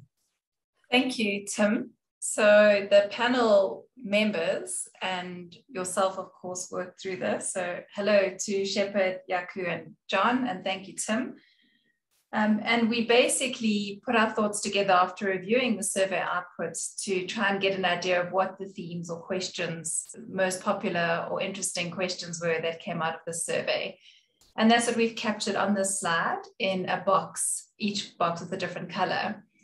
So the key themes that came out were the importance of this reporting obligation or the ESG reporting obligation in your mineral reserve and mineral resource reporting and declarations. Now, that came through in a few examples, which I think I'll take you through soon after I've covered the top four bullets. But basically, we can't escape it. It's expected, it's required. Um, different obligations exist in different duplications, but it's here to stay. And there was a very clear message that came out of the survey that engagement and awareness is required. Many of our presenters over the last day and a half have picked up the same comment that additional support, education, awareness, and of course, guidance is required. Um, not everybody fully understands what E, S, and G includes or incorporates. I think that could be addressed further as part of further work in the space, but perhaps more importantly, out of the questionnaire, is that G absolutely needs to be considered. There's a lot of maturity in the E and arguably in the S space. G is possibly a little bit less mature in the reporting space, but certainly needs to be included and picked up going forwards. And then you'll see where the hot topic stars are included on the slide um, in the maroon and orange sort of box, that there was definitely division in respondees' um, response to the. And basically, that division was whether or not guidance should be included as part of existing guidance or separate guidance, and whether or not reporting should be included as part of existing reporting or separate reporting. So if you allow me to take you through the different boxes or, or areas of findings that came to these top four conclusions, I'll, I'll provide a bit of color and detail to that. So basically, um, the first, one of question two was that um, reports should comply with the SAMESG guidelines. Um, and the, the reports that were nominated by the respondees was the annual mineral reserve, mineral reserve and mineral reserve reports, the annual sustainability reports, and competent person reports as and when required by the JSE. I'm sorry, this is Sorry, Charlie, I'm just going to ask uh, Mr. Michael Hall if he can uh, uh, mute his microphone, please. Thanks. I have muted him already. Thank you. But basically, the message is pretty clear here, with more than half of the responders saying that the reporting obligation is material, it's there and it needs to be included.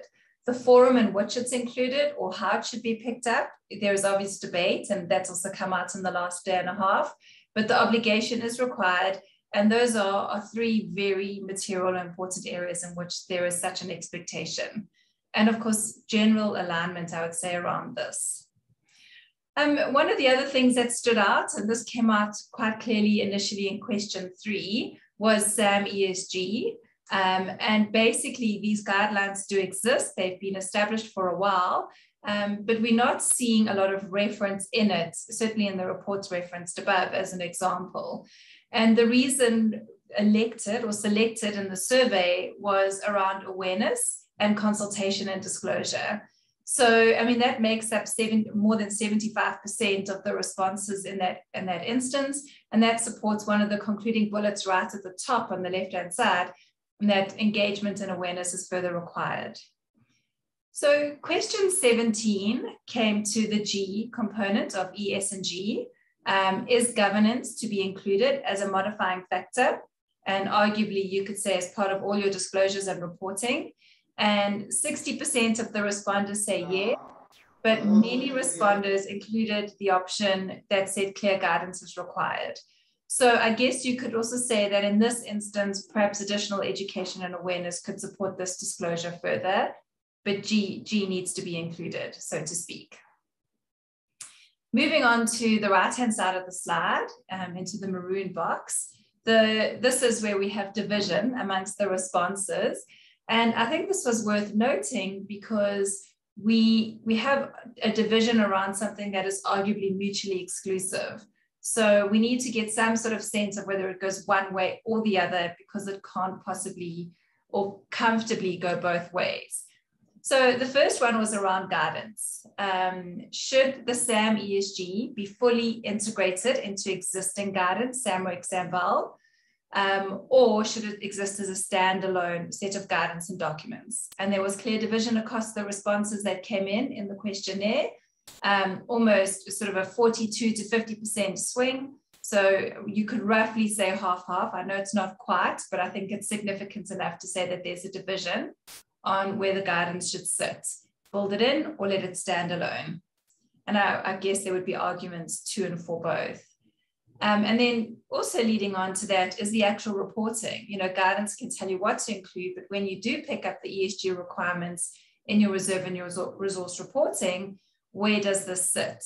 Um, is it a separate disclosure that, for example, some of your other reporting can reference, or is it integrated into one disclosure um, and in this case, you know, specifically around ESG reporting, would it sit, for example, in your mineral reserve and resource disclosure or other? So now I'm very aware that 80% and 75% don't equal 100%. In this instance, responders could choose more than one answer, but these were still the majority of the responses or they held the most weight which is um, where the conclusion came from that there, there seems to be some division on where we actually capture the pertinent ESG inform information in the, the greater reporting suite of documents. And then lastly, this was quite interesting to me as an ESG practitioner, is that um, question 13 sort of tried to, to put out there some of the myths that exist around the reporting in the ESG space and um, quite a, a significant myth that I guess we as industry practitioners in general see out there is that ESG is unrelated to reserve and resource. I think, um, and hopefully, this last day and a half has done a lot to help dispel that myth. But it seemed quite interesting to me that a lot of people believe that such a, a myth is very prevalent out there. Um, another one is that ESG comes at the expense of investment performance. That's also quite a, a, pro, a present or prominent risk that came out, or myth, apologies, that came out of the survey. Once again, we've had a lot of speakers that have hopefully, you know, created additional awareness or education around the space. Um, and then investors don't walk the talk. It's only for millennials and it's not a South African issue there was a, a very solid response about around that. Once again, uh, responders could answer more than one option in this question. But I think it seems very clear that with these kind of messages coming out of people believing that these myths are in play, that education and awareness is absolutely required in this space. Um, because per the previous points, this is not optional. You know, the reporting obligation is very real and very material. So Tim, I think that sort of sums it up. I'm sure when we move into the discussion section, people will be happy to raise more questions and answers around that too. That's great. Now, Charlene, thanks very much for that uh, overview of the survey results. And we'll certainly circle back uh, to these hot topics uh, a bit later when we open the floor uh, to further discussion. Thanks, Charlene. We can move on to the next slide. Uh, I, I, think uh, to, to help uh, set the scene uh, before we open the floor a bit later for questions or discussion is to just pick up on what some of the current industry trends are. and I, I, think this slide reflects a lot of the conversation that's happened uh, over the last day and a half already. Uh, and some of the themes I'll pick up on here are obviously materiality is key, diversity and, and climate, uh, the tailings management with the new Global Industry uh, Tailings Standard, uh, mine closure and rehabilitation uh, is a very prominent feature in technical resource and reserve reporting. Uh, and there's a number of other items there, such as uh, actual ESG performance. Now, the landscape is changing dramatically, I think, at the moment, and there's a lot of new stakeholders involved, and it's growing and becoming more multidisciplinary, as we've heard from a lot of previous speakers.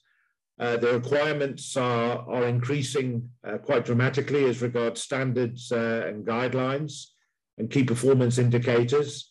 Uh, and the number of reports, uh, such as climate change reports and reports to society, are increasing as well. and my, my, view is that there's a growing diversification of reporting required, which potentially could actually damage the, the sustainability of ESG reporting. Uh, it should rather, rather be driven uh, on a road of convergence and streamlining uh, rather than increasing disaggregation. Because I think that will con continue to confuse uh, uh, the market uh, and stakeholders if we let that happen. So we need to be acutely aware of working against disaggregation and more against convergence in reporting in this context. it the need is for it to be more integrative, obviously clear and concise uh, and uh, comparable. So I think benchmarking uh, for investors and stakeholders will become increasingly important. And obviously the focus on risk and reputation. Uh, and we've seen earlier, I think from uh, Roger's presentation as well, when it comes to the risk and reputation around uh, heritage and tailings management, uh, it is uh, exponentially growing as well. The, the, investor expectations are growing all the time, uh, particularly with reporting requirements. Uh, and the focus needs to be on uh, streamlining this. And it, for me, it's very much about assurance to the reader of any, any such public reports. They need to get a level of satisfaction with the assurance involved with the ESG reporting. Thanks, Charlene. We'll go to the next one. Uh, I think if you stand back from the, the, the, the landscape we're looking at here, uh, there's actually a, a, push and a pull relationship taking place across the industry, and they're not uh, exclusive of, of, each other. But uh, the way we've tried to put it in an infographic here is that there's definitely a pull from uh, investors, potential investors, analysts, and, and various stakeholders uh, with a with a huge focus on assurance. Uh, and some of the, the key items there under that pull are, are obviously uh, transparency, consistency, uh, the assurance and verification, and the reputation. Uh, but equally, there's a push, as I describe it, from the codes, the regulators, the various exchange listing requirements, with a focus on risk management and compliance. Uh, and that's obviously driven by uh, codes, permits, uh, potentially penalties and fines and sanctions, uh, the overall license to operate, uh, and particularly the liability uh, and, and partic particularly post-closure liability and the various standards. So the two blue arrows there between the push and the pull boxes is to really demonstrate that they're not exclusive of each other, but there is very much a positive tension uh, between these two aspects of uh, reporting. So uh, some of the key themes flowing through from what we've looked at uh, that are on the radar screen uh, and certainly need, need to be looked at, they can't be ignored, is the ESG challenges, particularly in resource and reserve reporting. And this panel session is, I won't repeat it too often, but it is looking at ESG through the lens of mineral resource and mineral reserve reporting. Uh, so, and there, there has to be a clear understanding of what ESG includes in that specific context. Uh, and I think uh, most people are, are, reasonably familiar with the E and the S uh, as described here, uh, but the G is the important factor. And uh, should that become part of the modifying factors and also the reasonable prospects for eventual economic extraction, the RP triple E criteria uh, that gets looked at through SAMREC. Uh, some of the other items on the, the radar screen uh, is the, the changing ESG reporting expectations many of which are overlapping and duplicating already, uh, and some actually have conflicting requirements, uh, which, as I said, is, is not going to actually contribute uh, to a solid sustainability reporting framework at the end of the day if they are conflicting. Materiality is, is increase, increase, increasingly important as well. Uh, and there's a clear desire for practical guidance. Uh, and I know uh, the JORC Australian Code uh, in their rewrite and update are certainly looking at uh, embedding ESG in a meaningful manner there. Uh, and of course, we understand that the SAMESG guideline is also about to be revised and updated as well. and these are incredibly important practical guidance references for the industry uh, and, and, significant effort needs to be put in into making sure they're uh, they're configured in the right manner. Uh, and I'll I'll probably highlight that uh, if there are working groups to be established uh, to help put this together in a meaningful and value add way to the industry, I think it will be incredibly important that those working groups uh, have the right makeup and representation uh, to provide a full 360 de degree view on the industry and that is not particularly biased in any particular direction. Uh, and obviously from the competent person perspective, uh, awareness, education and training uh, are, are, flagged by most practitioners at the moment and how is that going to be addressed. Uh, and I think finally at the bottom of this slide, and I think this is also a, a key aspect, that when uh, guidance uh, is revised and, updated and issued to the industry, uh, and if it's particularly embedded in the, uh, the codes uh, that the various exchanges uh, rely on, we need to ensure a level playing field.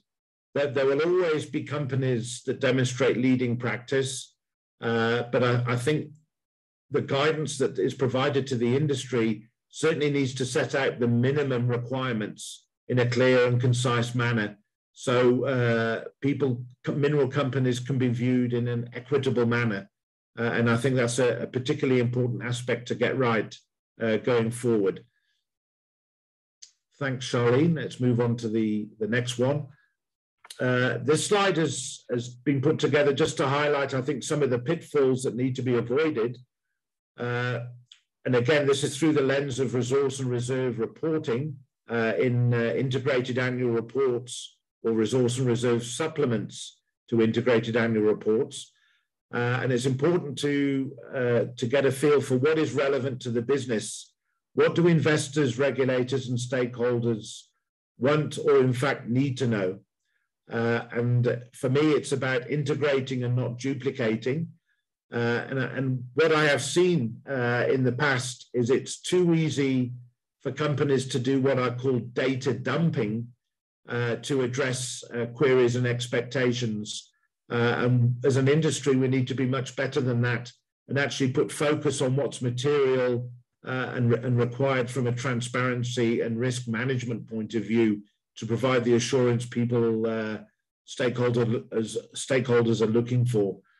Uh, and the focus should be on, the principle should be on convergence, alignment, and simplicity going forward, uh, as I said, to avoid that disaggregation uh, in the future. Uh, and then a key question for competent persons or lead competent persons for mineral companies. How do they actually satisfy themselves on the ESG content of technical reports? Uh, what sort of training should be in place for the industry? Uh, do technical competent persons rely on the subject matter experts? Uh, or do they have to make sure that they're equipped with a, a, certain working knowledge of ESG items to be able to sign off as the lead competent persons? Where does that professional accreditation actually reside? We're familiar with uh, the South African Institute of Mining and Metallurgy, the Australian Institute of Mining and Metallurgy, uh, SACNASP with the uh, professional scientific uh, accreditation. But exactly where does ESG professional accreditation sit? Uh, and uh, what needs to be done to uh, confirm those ESG practitioners actually achieve that level of accreditation? uh, is certainly a question that's hanging out there. Uh, and, and, another one is that uh, mineral companies will routinely have their resources and reserves externally audited for independent assurance on some level of, of routine basis, depending on a particular company's uh, protocol. But uh, I, am particularly keen to understand how the, the, the consultancy world will approach these audits when they look at ESG content in resource and reserve reporting, uh, because there's uh, an opportunity for a disconnect to take place here between external auditors and the companies themselves. And I think there needs to be some uh, alliance and conversation uh, uh, around what is mutually expected from uh, independent audits in that context as well. So that's just a, a, few of the pitfalls to be avoided. And I think, uh, Charlene, that takes us on to the last two slides. Uh, now, I can briefly just scan over these two slides, which uh, we as a panel feel are the elephants in the room. Uh, but uh, I'm cognizant of the fact that this needs to be a, a, panel discussion, and we certainly want to give some quality airtime uh, to the 140 people on the call to actually raise what they believe are perhaps the hot topics or the issues that need discussion. So I'm not going to talk through all of these, but uh, you, you, can see uh, based on what we've just covered, uh, the items that we, we believe should be discussed either in, in, in this forum or certainly in future workshops are, and I'll pick uh, some out of here, uh, what's appropriate and relevant for ESG disclosure in annual resource and reserve reports. Uh, how do we integrate uh, guidelines such as SAMESG with SAMREC? Should they be kept separate? Should they be integrated? Uh, should the JSE listing rules, uh, section 12 that we're familiar with, actually prescribe ESG as manda mandatory items in being able to uh, file on the, uh, the JSE, which is a carrot or the stick type uh, context.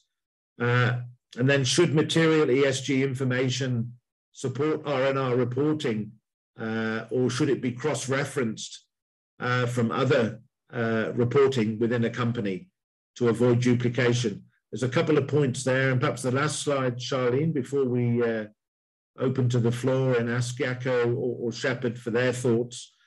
Uh, should governance, I mentioned this earlier, be included in the modifying factors and in the reasonable prospects for eventual economic extraction?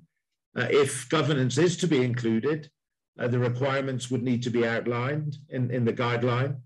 Uh, moving down the list there, how can assurance and competency be assured and the lead comp competent person satisfy him or herself? Uh, and there's a list of uh, sub dot points there. Uh, and then from an ESG subject expert perspective, where is the professional home for ESG experts? Would it be SACNASP, SAIMM, GSSA, or, or something, something else? Uh, and then finally, uh, how do we educate, engage, and leverage awareness uh, across the entire industry on the importance of ESG in, in resource and reserve annual reporting? Uh, so the, the tagline at the bottom of the slide is just saying uh, a SAM codes working group uh, is probably required to clarify these issues and provide the uh, appropriate document guidance. But uh, having given that scene set, the lay of the land of, of the landscape, I'm quite keen to throw it open to participants. But just before that, I'm going to ask Jaco or, or Shepard if there's anything I've missed or something you'd like to further emphasize, uh, please go ahead and do that just now. Thanks, Tim. Um, it's Jaco. I'm not sure if you can hear me. Yep, clearly. Okay, thank you. Yes, we can um, hear you. Thanks.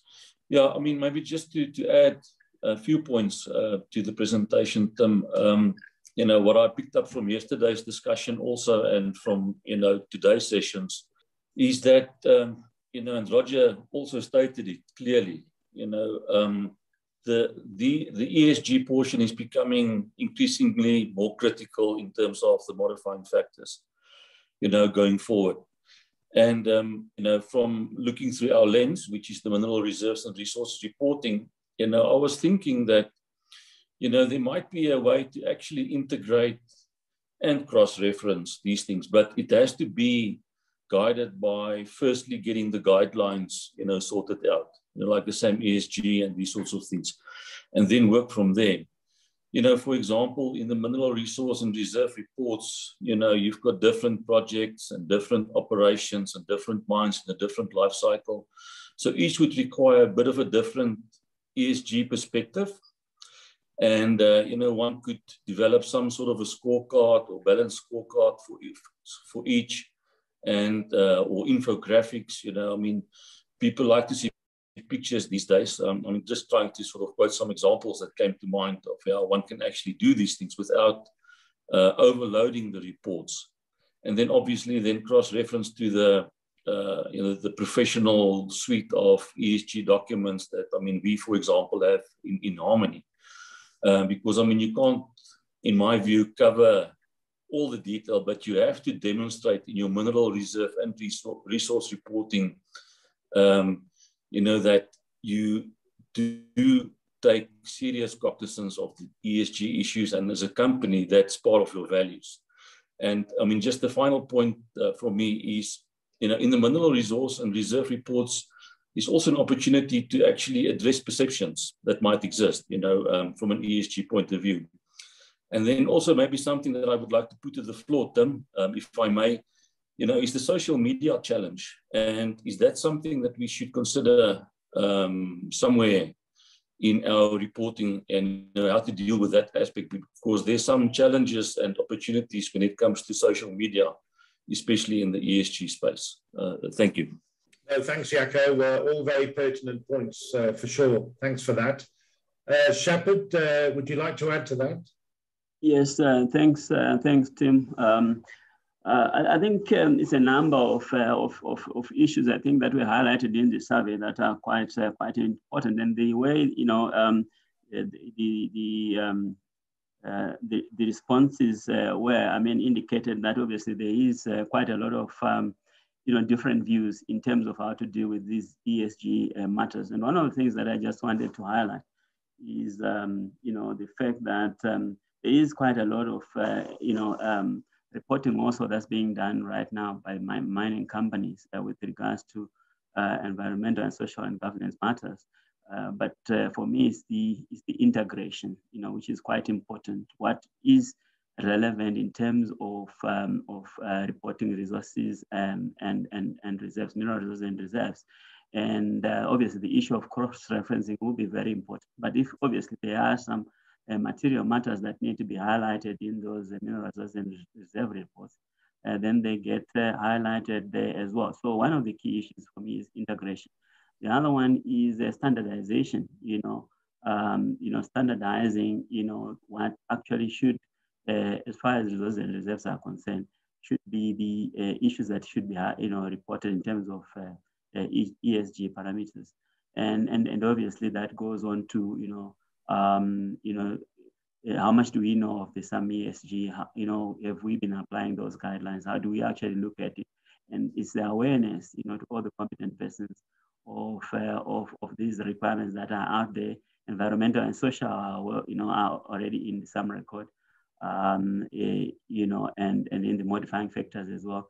Uh, what about governance, you know, and how much of that do we actually take on board and make sure is uh, well referenced and, and, and, and referred to in mineral resource and, and, and, and reserve reports. So, you know, those are some of the uh, key things, you know, that I think from my side are quite important to, you know, uh, to look at. But uh, I think the issue of making sure that we don't overburden ourselves in terms of reporting, because they are, you know, they, if you look at company reports today, you do see quite a lot of material that's reported on environmental, social, and governance and and and, and, and it's being able to um, you know get from that uh, what is actually relevant to mineral resource and reserve reporting. Thank you. No, thanks, uh, Shepard and uh, David from the Mineral Corporation. Uh, would you like to add anything to that? Thank you, Tim. It's it's John. Good Sorry, day, John. everyone. Good day, everyone, and thank you very much for this um, extraordinary, valuable encounter on matters of ESG.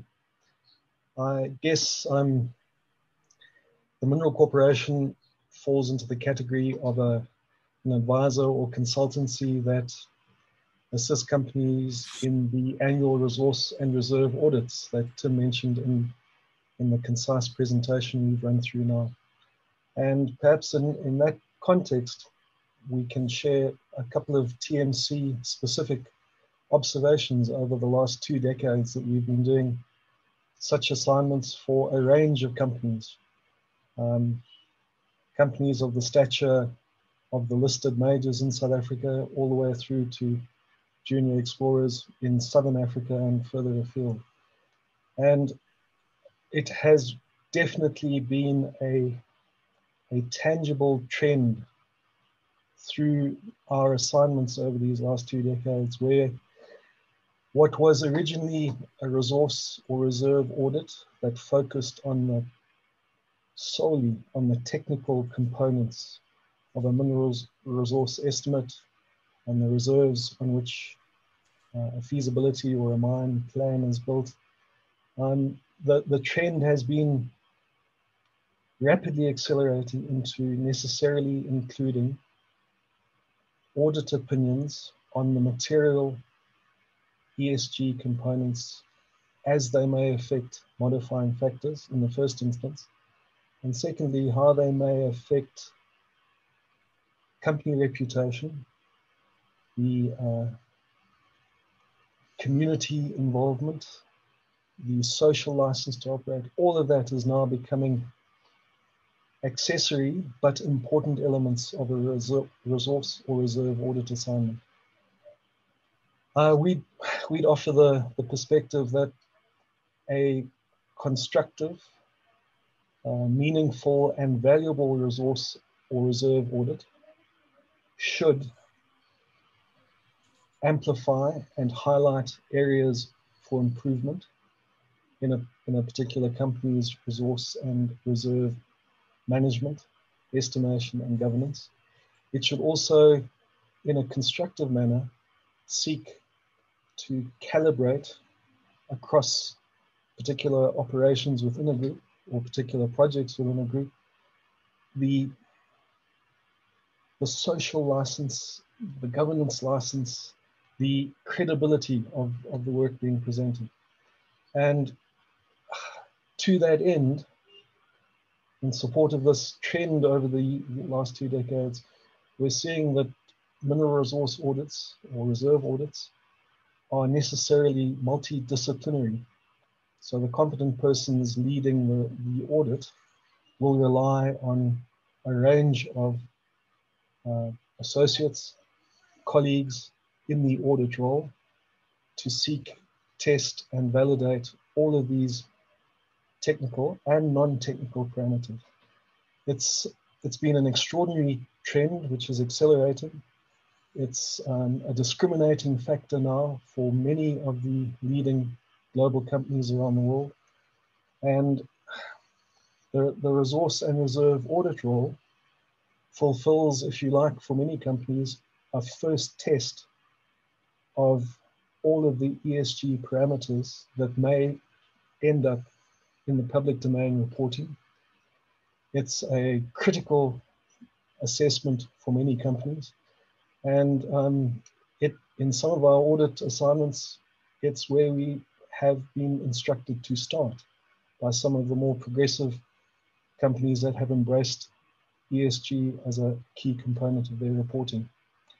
I'll close with one, one other comment to, to make, and that relates to the integration of the, the codes and guidelines with the note that um, please do not neglect the junior explorers, the junior mining companies, those companies at, a, at the earlier stages of a, a mineral deposit development um, life cycle where ESG reporting, um, necessary and required as it is, may be of quite a different complexion and scale and intensity to uh, major mining companies with established long life assets. Thank you very much. Thank you, Tim. I'll pause there. John, thank thank you very much. Uh, yeah, you make you make some good comments there, and uh, if I can just wire into to one of the things you said is uh, I've traditionally had a scope of work for independent auditors when they come into Gold Fields to do resource and reserve audits, uh, but that scope of work actually includes a, a definitive section on sustainability, and it, it, has for a year or two, uh, with a view to actually reporting what, what I've been calling for a while now a, a sustainable life of mine plan with sustainable reserves.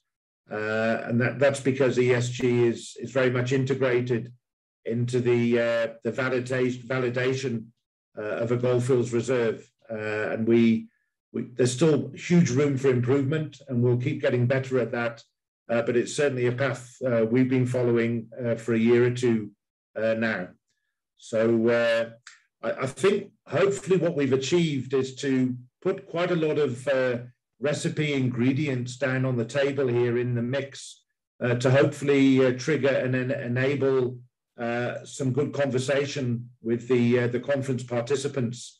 Uh, and without being prescriptive, I'd like to throw the the floor open to to any questions, comments, or queries uh, to uh, that we can kick off with. And uh, the panel will do our, our utmost to uh, assist with any uh, responses. Thanks very much. Um, that, that was a fascinating session. Um, I, I, really enjoyed it.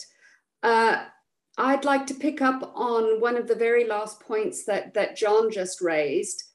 SAMESG was groundbreaking for those of us who have been involved in ESG reporting and mineral and resource uh, statements for, in my case, um, 15 odd years. Um, and that is the, the, the last thing he said about the differential between the different levels of reporting. I really think that one of the things that needs to be teased out in any review of the guideline is the need to differentiate between what the ESG uh, expectations are for an exploration project, a, re- a, mineral resource project, and a mineral reserve project. Uh, you know, mineral reserves actually are the easiest. Chances are there's feasibility studies, there's all sorts of ESIAs, there's all sorts of documents that you can rely on. But that's a lot harder at the exploration and, and resources stage. Uh, so, so I think the expectations around that need to be teased out. The, the other thing is differentiating between greenfields reporting and operational sites. Uh, basically, the same reason. Operational sites have a lot more data, and greenfields often have a lot less. And guidance on how to deal with that, I think, would be hugely beneficial for those people who are having to apply uh, ESG reporting in resource reserve statements. Thank you. Yeah, Fiona, thanks uh, thanks very much for the question. And, and just before I actually give uh, John uh, an opportunity to comment as well, I'd like to say that you, have hit on a, quite a, a, personal hot topic for me there, Fiona, uh, because if if we think globally, uh, and I'll, I'll, reference the new SK 1300 reporting uh, that's being that you have to meet to be an SEC registrant, they've obviously put out a, a guideline uh, that's some 400 pages long, and I think it's got some 104 prescriptive requirements in our technical reporting embedded in it. But they, they've had to, the SEC have had to do a catch-all guideline which covers IPO offerings, exploration projects, operations that have been going for 20 years that have a 30-year life, etc. And, and at the end of the day, you do get caught between a rock and a hard place when you try and have a catch-all solution. So the point you're making, Fiona, I think is, is very, very pertinent that there are different approaches needed, whether it's a, an initial public offering, an exploration project, or something much more advanced or a long life operating mine.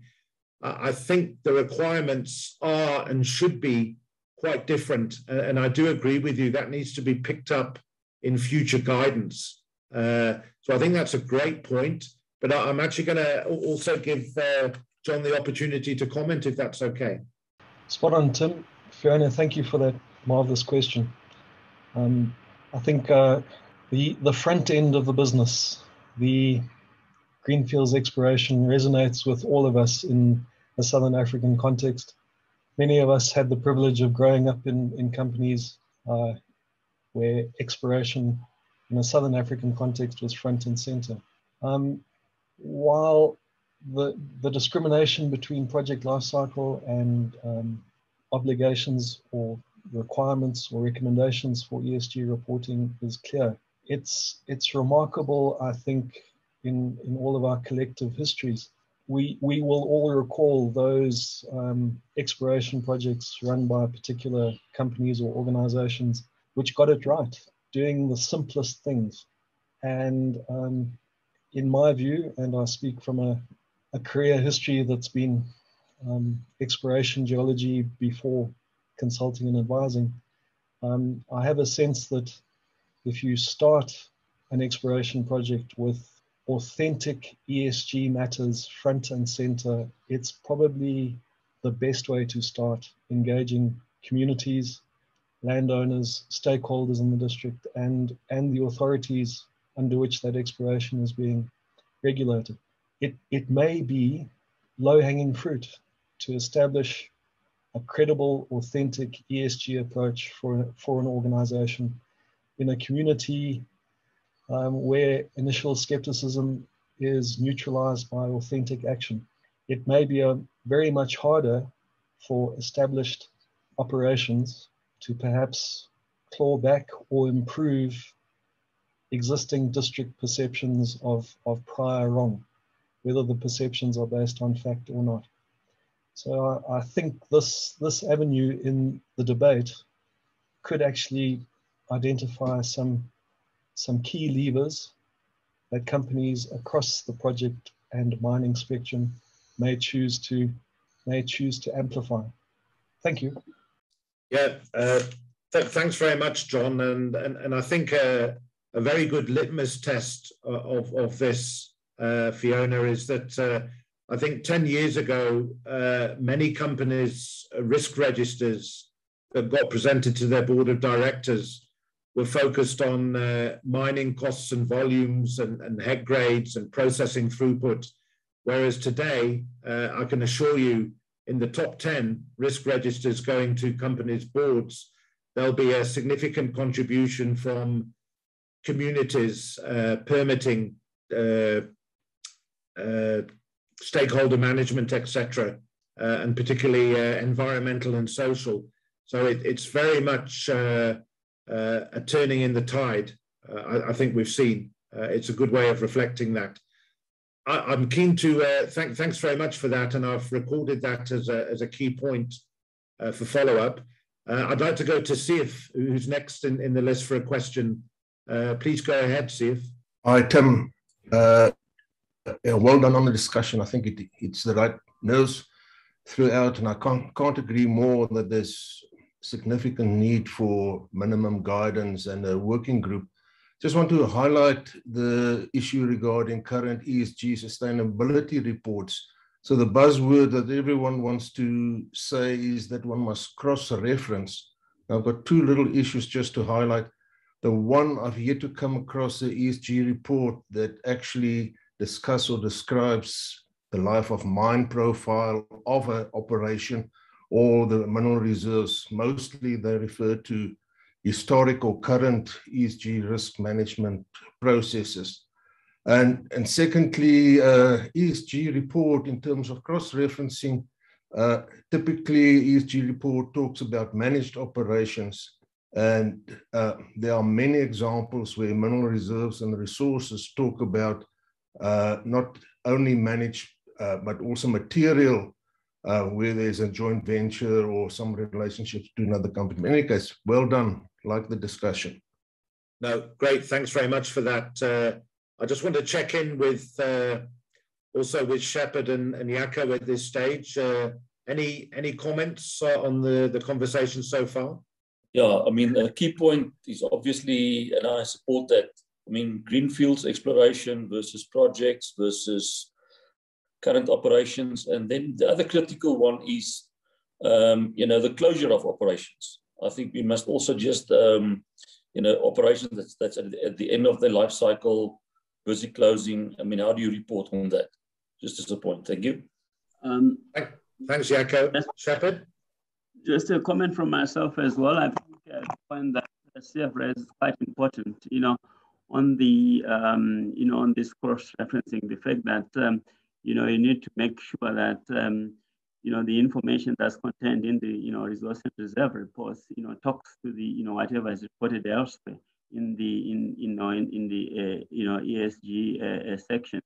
I think that's uh, that, that, that that that's very important. Unfortunately, as well, if there are JV um, you know um, JVs that are there, sometimes that detail is not available. And I think it's some of those things that need to be looked at so that um, um, you, you, the required information that uh, you know um, has to be reported in mineral resources and reserves on ESG is available. Thank you. Thanks, thanks for that, Shepard. Uh, I see uh, Kevin Davis. Uh, your hand is up. Kevin, please go ahead. Hi, hi, Tim. Um, so, for those of you that don't know me, and a lot of you don't, uh, I sit on SAMESG and I concentrate on the G not the E and the S, because as you heard from yesterday, I'm an accountant.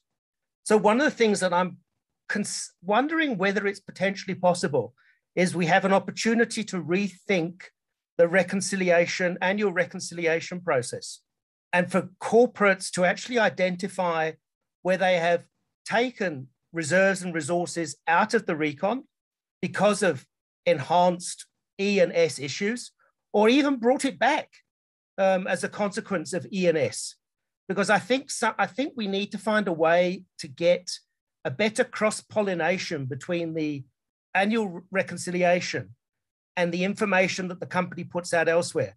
You know, I see in a lot of reports companies say, well, we haven't achieved um, our forecasts and our um, cash flows because of poor grade. Okay, so is that that is that a reflection on the operator in that there's poor grade control? Or God forbid, they're off plan of mining resources? Or is it a reflection on the geologist? Is that the, the grades are bad, and therefore do I have a poor perception of the cupboard of what the reserve and resource report is? And I think we need to find a way to get the two together and use this um, to achieve a better uh, reporting. I say I concentrate on the G because that's what worries me. Um, but I see that we get different information flows across the across the entire spectrum of the reports, and they're not consistent, and that would create doubt for the investor.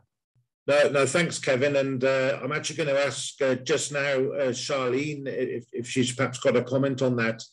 But uh, I, th I, think the point is well made, uh, and I think uh, a theme running through through the industry uh, or, or, certainly from the stakeholders that are going to be reading these reports, is that how do we get the level of consistency right that some objective benchmarking can be done uh, so people can have a view on uh, a mineral company demonstrating leading practice in the ESG space, whereas perhaps uh, another company taking more of the, uh, the tick the box approach and not walking the talk, uh, as we heard highlighted yesterday.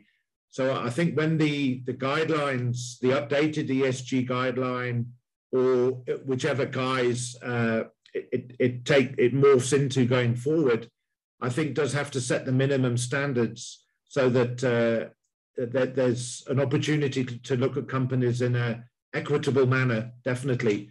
Uh, Charlene, would, would you like to comment on uh, the, the, last uh, point made? Thank you, Tim, and thank you, Kevin. Um, and I certainly, I think that sounds like a great idea. I agree with you. Let's um, let's recalibrate or, or reconcile against perhaps what could be considered to be key ESG indicators. In your case, the G, or um, other modifying factors. Um, and, and I think I think ultimately that's where we want to be. I do think that the proof will be in the pudding, and it's quite a mature position, and it would probably take a while to get there. Um, and I think those that we we'd face in that journey are around, um, you know, who does this, who gets involved. Uh, already in the chat, there's comments coming up about the competent person. Is it one competent person? Is it a range of people? What are their qualifications? How do they go backwards and forwards in this space? And I suppose that also speaks about integrating, you know, truly integrating into the way in which we reconcile or even determine our, let's say, resources to begin with. Um, I, I, also think that you probably need to pick out the material elements in order to do that reconciliation. Um, and I guess there you probably want some guidance around that or um, I don't know, some sort of standardization, although in every instance it would be different. So it's a tough one, but you wouldn't want people to avoid key issues when they really could influence your reconciliation. Um, and so that materiality question and relevance question, I think, would also be a challenge to, to dictate in the guidance. But, but I really think it's, it's ultimately a, a real test of where you stand and where your declaration stands. So I'd certainly welcome that.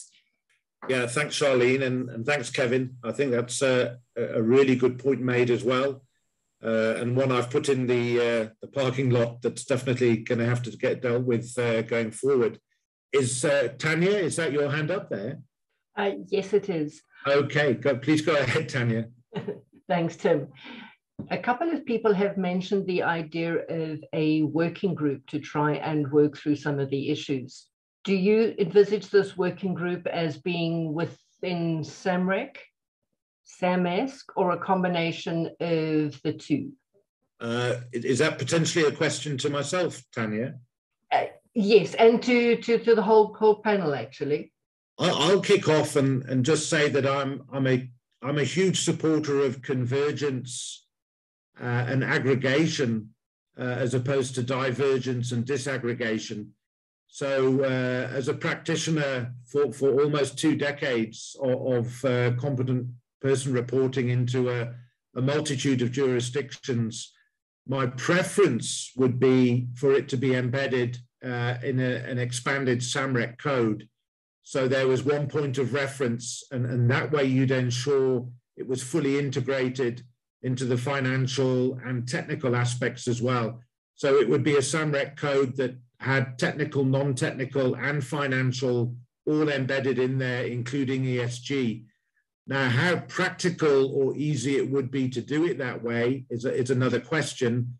But if I have had a magic wand, that that would be my first preference. Uh, so uh, that, that's my view, but I'll, uh, I'll, I'll, kick off and, and just hand over to John, perhaps for, for the next comment. Thank you, Tim.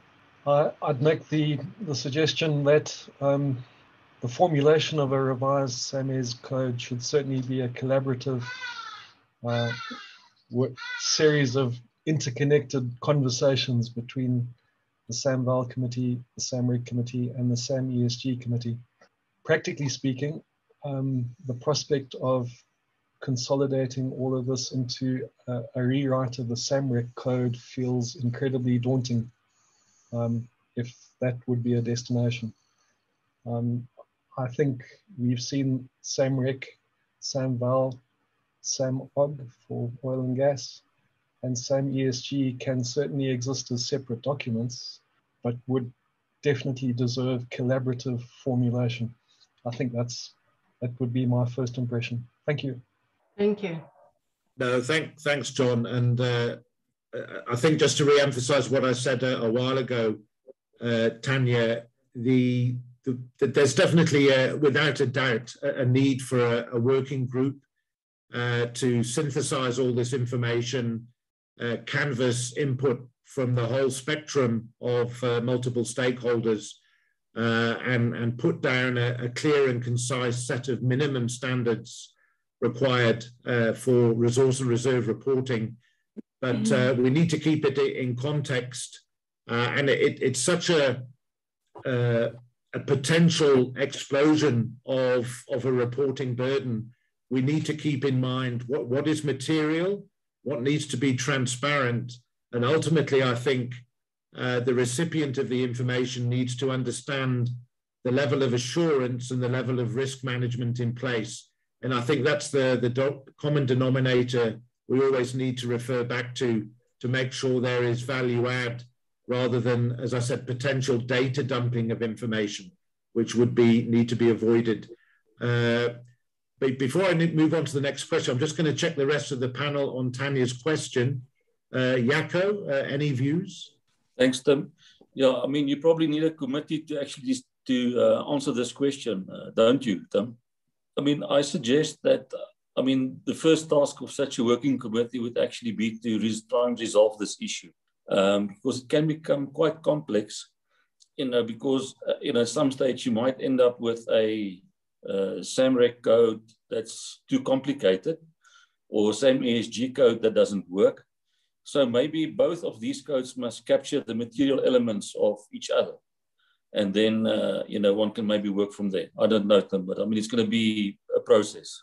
I can see that.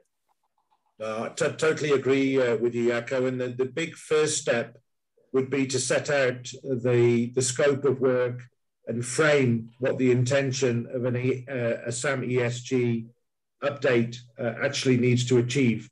So uh, I think before the, the, the, process even starts, there should be absolute crystal clear clarity on what the end game and objective is uh, before we actually set off on that journey uh, of, a, of a, a SAMESG uh, update. it's all too easy to, to explode the information available in the marketplace uh, we need to make sure it's it's value adding all the way through. Uh, uh thanks, Jaco. Uh, and perhaps Char Charlene, uh, a, a, last comment on, on Tanya's question. Thanks, Tim. Um, I yeah, I think it could go either way, to be quite honest. And I think it needs to be what works and is most effective. I think both could work. There are probably instances out there where both could work. So um, uh, I the only risk I see of having a sort of a separate ESG aspect is that, um, or ESG guidance space is that then non-ESG people would leave it to the ESG people, and then they wouldn't integrate or converge effectively. And I feel that that's perhaps one of the key messages that is coming out here, is we have to do one that will allow for best integration. But there are practical challenges and opportunities doing it both ways. Tim, just to check in, Teresa's put a challenge to the delegates on the call um, or a question in the chat, and then there's two hands up, Linda Lani and Andrew. That's right. I, I, I, was aware of the one question on the chat line, but uh, I'll, I'll hopefully have time to come back to that. Uh, I'm actually going to go to uh, Andrew McDonald, who, who, has his hand up. Uh, Andrew, over to you. Yeah, morning. Thanks, Tim. Thanks, everybody. So I was picking up on Tanya's question and your comment, uh, I would concur with you to say that it should be incorporated into the SAMREC code um, because already you've got a lot of duplication between the reporting in the SAMES guidelines and the environmental social disclosure in the SAMREC code. Um, the other thing that I wanted to pick up on is that uh, in terms of a working group to formulate how this gets done, it would need to incorporate uh, people from the SAMVAL, from the valuation side as well, because that also has implications in terms of valuation of assets.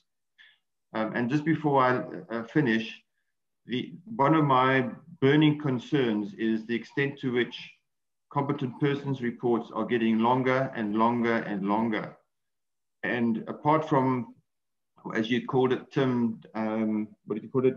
Data dumping and materiality the, the codes are becoming so much more, I'm going to say prescriptive in terms of the level of detail that's got to be disclosed, that it's, it's for anybody to try and wade through these reports and understand what's going on is becoming very, very difficult. So we need to think at the same time of how we can reduce the length of these reports and still give the key information. Thanks. That's all I wanted to say. Uh, Andrew, thank, thank you so much for those comments. Uh, we've set an internal challenge within Gold Fields to uh, streamline our, our, reporting to a certain level because it, it, it's actually much more challenging to have a, a, comprehensive competent persons report that's 100 pages long. It's much easier to make it 240 pages long. And I, will just throw a, a, suggestion out here as well. Uh, the Gold Fields financial team goes across to Washington on an annual basis to engage with the SEC to understand and be updated routinely on that exchange's expectations in reporting on what the current new trends are. Should there not be an opportunity for reporting under SAMREC for companies to engage with the JSE uh, over perhaps one or two days on an annual basis, just so we can have a, a quality collaboration and make sure everyone's aligned on expectations uh, and the best uh, current trends in reporting. I think that would be very healthy for the industry. Uh, thank, thanks very much for that. And uh, uh, Linda Lani, uh, your hand is up next. please, please go ahead with your question. Okay. Hi. Um, good. Good morning, Tim. I'll just switch off my my video. I don't know if everybody can hear me. Okay, that's fine. Um, I think Andrew just touched on what some of the issues that I wanted to raise. Um, I'll just pick up what when where Teresa ended yesterday. Uh, in terms of uh, the, the, there's quite a bit of overlap between various kinds of reports that we do, and each report has its own scope, you know, audience and also the frequency of reporting, so they come at different times. And I think the challenge for, for from my side, which I see, is that you know, as as, as mineral mining companies, uh, we need to understand, and we uh, sort of how do we integrate all this uh, all this reporting uh, across across the organization. And then also touching on, you know, I think the, the, the issue we, we, we, talked about about integrating and cross-referencing between multiple reports, I think that requires more thinking and to actually uh, pave a way forward. How can we in, uh, do that? Mm-hmm. Also touching to what you said, Tim, in terms of mm-hmm. avoiding duplicate, duplication of, of, of, of information in all of these reports. That's just a comment from my side. No, very relevant comment, and I think reinforcing uh, a lot of the key themes we've heard today, Linda Lani. So thanks for that. Uh, Shepard, uh, did, do you have any uh, observations at this point? No, I, I, I, didn't have any any any anything um, um, um, major. Basically, just to highlight that um, it's important that all the different codes, you know, one needs to understand what the requirements of the different codes are, you know, so that you know, there's no duplication. And, and also importantly, um, um, the requirements, say from the SAMREC code, you know, those essential requirements uh, that are to do with ESG must be reflected uh, in, in the SAMREC code. But you see, ESG also covers quite a lot of other, you know, other things as well. And um, so I think that needs to be taken into, into consideration because you also don't want to have you know, a, a, a, you know, too much, uh, in, you know, uh, requirements, you know, say on the on the SAMREC code or, or uh, but only have those, you know, that information that's relevant for the reporting of minerals as the mineral reserves. Um, but at the same time, you know, uh, the ESG um, sort of, um, you know, larger component might cover a lot of other other aspects as well. Great, thanks, thanks very much, Shepard. Uh, I'm cognizant of the time. But uh, I think there are two really good points in the chat room, which I'd like to put pick up on. And uh, the first one is from uh, Leslie Jeffrey, who I hope is still on the call. You make a very good point about right sizing reporting obligations between uh, uh, big corporates uh, with multi jurisdictions and more micro entrepreneurs, which are still a very important component of the industry, particularly in certain jurisdictions. Uh, Leslie, uh, would it be okay for you to just uh, repeat your question on the call for us? Um, hi, Tim. Thank you. Just a bit of background. I was on the editing committee for the SANS 10320 guidelines, which are the coal reporting guidelines that work hand in hand with SAMREC. There are one or two instances in that document where there was, I won't call it a pitched battle, but there was some very earnest discussions about how something should be record, uh, reported because big business saw things in one way and had the resources to support that way. Whereas the small businesses, which on that committee were actually represented by consultants, the consultants knew those small businesses did not have the resources to satisfy those requirements, neither in house nor the ability to pay for them in terms of, of consultants. And in fact, that that level of reporting could actually kill the micro business. So it, it's a very difficult trade off between um, living in a perfect world and not killing off small business initiatives, which is why I say any panel needs a good range of industry sizes um, or business sizes across the industry to tease out those kind of issues and, and find a workable middle ground for all parties. Yeah, fully fully supported, and it, it's an aspect that I think is too often overlooked So the, the point is well made and, and well uh, well recognised. Thanks for that. Uh, uh, Kelly, did, did you have your hand up just now? I, I think in terms of SAMREC and SAMVAL and SAMOG and SAMES, remember that there's, they really only comply, the, the, the compliance is required through the JSE listings rules.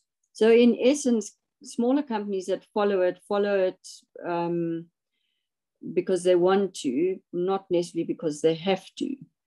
So trying to make something for everybody is going to be quite difficult, I think. And I think if a smaller company wants to, where there are areas where they, they can't actually comply, then I suppose you should you, you should apply the if not why not kind of principle. Yeah, no, uh, agreed. Uh, uh, uh, John, I, I, don't know, do, do, you have an observation on, on, Kelly's comment? Other than to support it wholeheartedly, nothing to add, Tim. Thank you. No, thank you. Th thanks, Kelly. Uh, that, that point's also taken uh, and also very important. I, I think we'll probably just finish off with me referring just back to the chat line. we're nearly at half past the, the hour. Uh, and it's actually from uh, Linda. Uh, your comment was, should the competent person, and you may be referring to the lead competent person for a mineral company who actually signs off on submissions either to the JSE or, the SEC, etc. Uh, you say should the competent person not uh, should perhaps he should not be a he or she should not be a single individual uh, I think implying that there, there might be a, a very clear role for discipline experts to contribute to the competent person's uh, overview uh, and to reach a, a, position of satisfaction that they're all covered. Uh, do you perhaps want to briefly just expand on that uh, for us, Linda? Yeah, I, I am a geologist. So I'm learning now about this um, competent person because I'm teaching the mining engineers. So I had to learn that there is a competent, when I do the SAMREC code, there is a competent person that does the resource part of the SAMREC code. And then there is a, that usually is a geologist. And then there is a competent person that is a mining engineer that does the reserves part of this. And I, since I never work in the industry because I'm an academic, I actually don't know how these two competent persons, the resource side and the reserve side, are dealing with each other. But now I see that uh, the reserves part of the uh, code that uh, it should be a mining engineer has also to look into these all modifying factors to convert resources into reserves. And there are so many variables that it cannot be the competence of a mining engineer. This is beyond it. And so this is why I said maybe one has to think of the significance of this competent person and uh, I'm sorry if I don't know many things. I'm new in this business. So this is my side. Thank you. No, no, thanks, Linda. And perhaps before I briefly go around the panel, uh, I just want to comment. Uh, uh, myself, I've been the lead competent person for resources and reserves for 15 years for Gold Fields. Uh, and one thing I've learned is you need to pragmat be pragmatic and realistic. You cannot be an expert uh, in every aspect, whether it's geology, mining engineering, finance, ESG, processing, etc. You have to rely on a competent person's team in support of you. Uh, in, in my particular case, I, I rely uh, extensively on Charlene and, and her team that cover uh, mine closure provisions, community engagement, uh, water, security of water, uh, security of energy, etc., leasing agreements, etc. All, all that uh, is made available to me to review, but there are discipline experts within Gold Fields that have the true competency to review and sign off on that. So it, ultimately, it has to be a multidisciplinary approach. Uh, and perhaps I, I could, uh, on, on, behalf of perhaps Jaco and Shepard, if you are lecturing at the university and you may need someone to come in from industry who could perhaps give uh, a presentation to the students, uh, or the postgraduates on, on exactly what this entails, uh, we might be able to uh, assist you there. Uh, yeah, that would be great also to for having the student to have uh, someone from the industry speaking about that, and not only me from the theoretical part, but more a practical part. Thank you. Okay, so uh, we the, the the clock has run out on us, but uh, I'm, I'm just going to close out by going around the panel uh, for any last comments or observations, uh, and I'll kick off uh, Shepard with yourself. Any closing remarks? Shepard, any closing remarks? No. Uh, uh, any closing remarks from your side? Uh, thanks, Tim. Uh, thanks for the opportunity to be on the panel. I think it um, solicited some good discussions and some good points that came come out for um, you know follow up. Thank you. Thanks very much, Jaco and uh, John. Nothing specific to add other than to thank my co-panelists and Tim and Charlene for this marvelous um, presentation and the audience for this very, very helpful interactive session. Uh, we've got some work to do.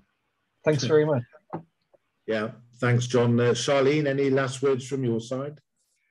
Thank you, Tim. I would just like to echo Jaco and John's thanks to my co-panelists, to the Geological Society, Tanya, Fiona, and of course yourself. And I think very importantly, thank you to all the attendees who, who put some really good questions and thoughts on the table. I think the challenges are, are actually quite well understood and there's, there's some very clear direction on what can be tackled first going forwards, which I think is a great position to be in. So thank you very much to everyone. Thanks, Charlene. And uh, I won't repeat everything, but I fully echo and endorse uh, what Jaco, uh, Charlene, and, and John have just said.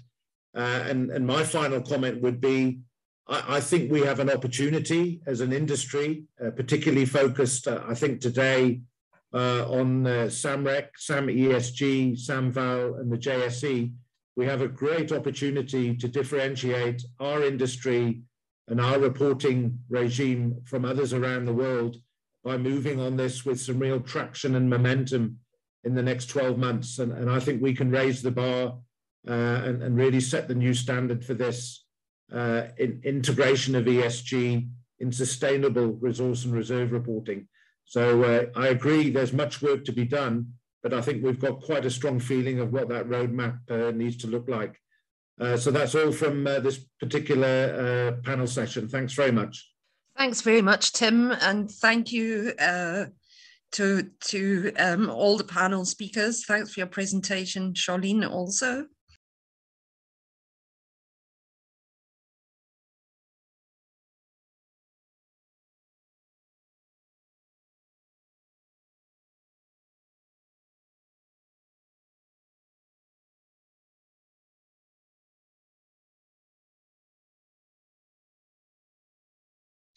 Okay, it's 11.45. I think we can start to resume again.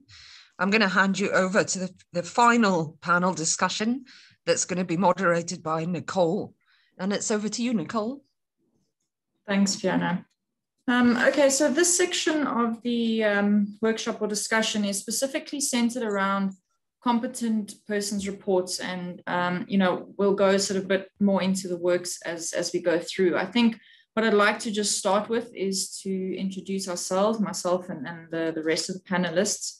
So I think if I can ask them all just to, um, you know, give a brief introduction of themselves and, you know, where they would necessarily fit in uh, with this conversation and, and, their field of expertise. Um, so myself, I'm currently the CP for our uh, PGM segment at Sibanye-Stillwater. I've been in the industry for, for 15 years. Um, so in terms of that, you know, it's, it's compiling the, the CP reports, the annual um, resource and reserve statements. Um, so that's where I fit into in, in this particular discussion. Um, I think if I'll just go down the line, Lindolani. Good morning, everyone. Good morning, yes, good morning, everyone. Um. Um, I'm currently the CP for Sibanye-Stillwater, the Gold Division. Um, so basically my role is compiling the CPR reports, CPR reports, and also the RNR reports uh, for the on, on annual basis. Thanks, Nicole. And then we have Andy, Andy McDonald. Okay, good morning, everybody. Um, I've been doing competent persons reports for listings since uh, 1999. I've been involved on the SAMREC, uh, sorry, the SAMVAL committee in terms of the rewrite of the SAMVAL code. Um, and learning quite a lot about ESG in, in a very short space of time. So thank you. Thanks, Andy. And then we have Kelly. Hi, um, I'm basically, I've been in the mining industry for uh, 25 plus years. I focus really on mineral asset valuations, um, M&A type work, project evaluations um, as an independent consultant. Um, I was part of the SAMVAL rewrite and I've been on the SAMVAL and SAMREC committees um, for many years. And I was chairperson of the SAMVAL committee from 2015 to 2019, which was during the time that we rewrote the SAMVAL code. And just as part of that, when we were writing the, the code, one of the things that we did add into the SAMVAL code, and I think I've said this before in table 1.10, is that SAMES should be used as a guideline in terms of evaluation. So I think it is quite well embedded in the SAMVAL code. It does give you some some flexibility, but I think it is actually already embedded in the SAMVAL code. Thanks. Thanks. And then we have Neil. Yeah, hello everyone. Um, so with with my association of Deloitte, I, often have to introduce myself and explain that I'm not an auditor um, and I'm not an accountant. So I'm, I'm a geologist by background. Um, I represent a business called Deloitte Technical Mining Advisory. So we are the sort of technocrats within uh, the accounting or financial advisory business.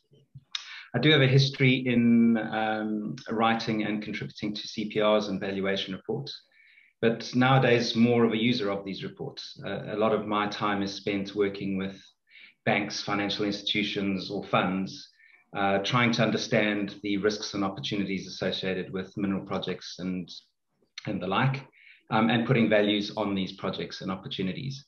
Um, so, so I'll be looking through through the lens of a user of these reports, uh, some of the challenges that we are seeing, um, um and some of the requirements um, in terms of uh, ESG reporting through the CPRs for the purpose of the end user. Great, thank you, Neil.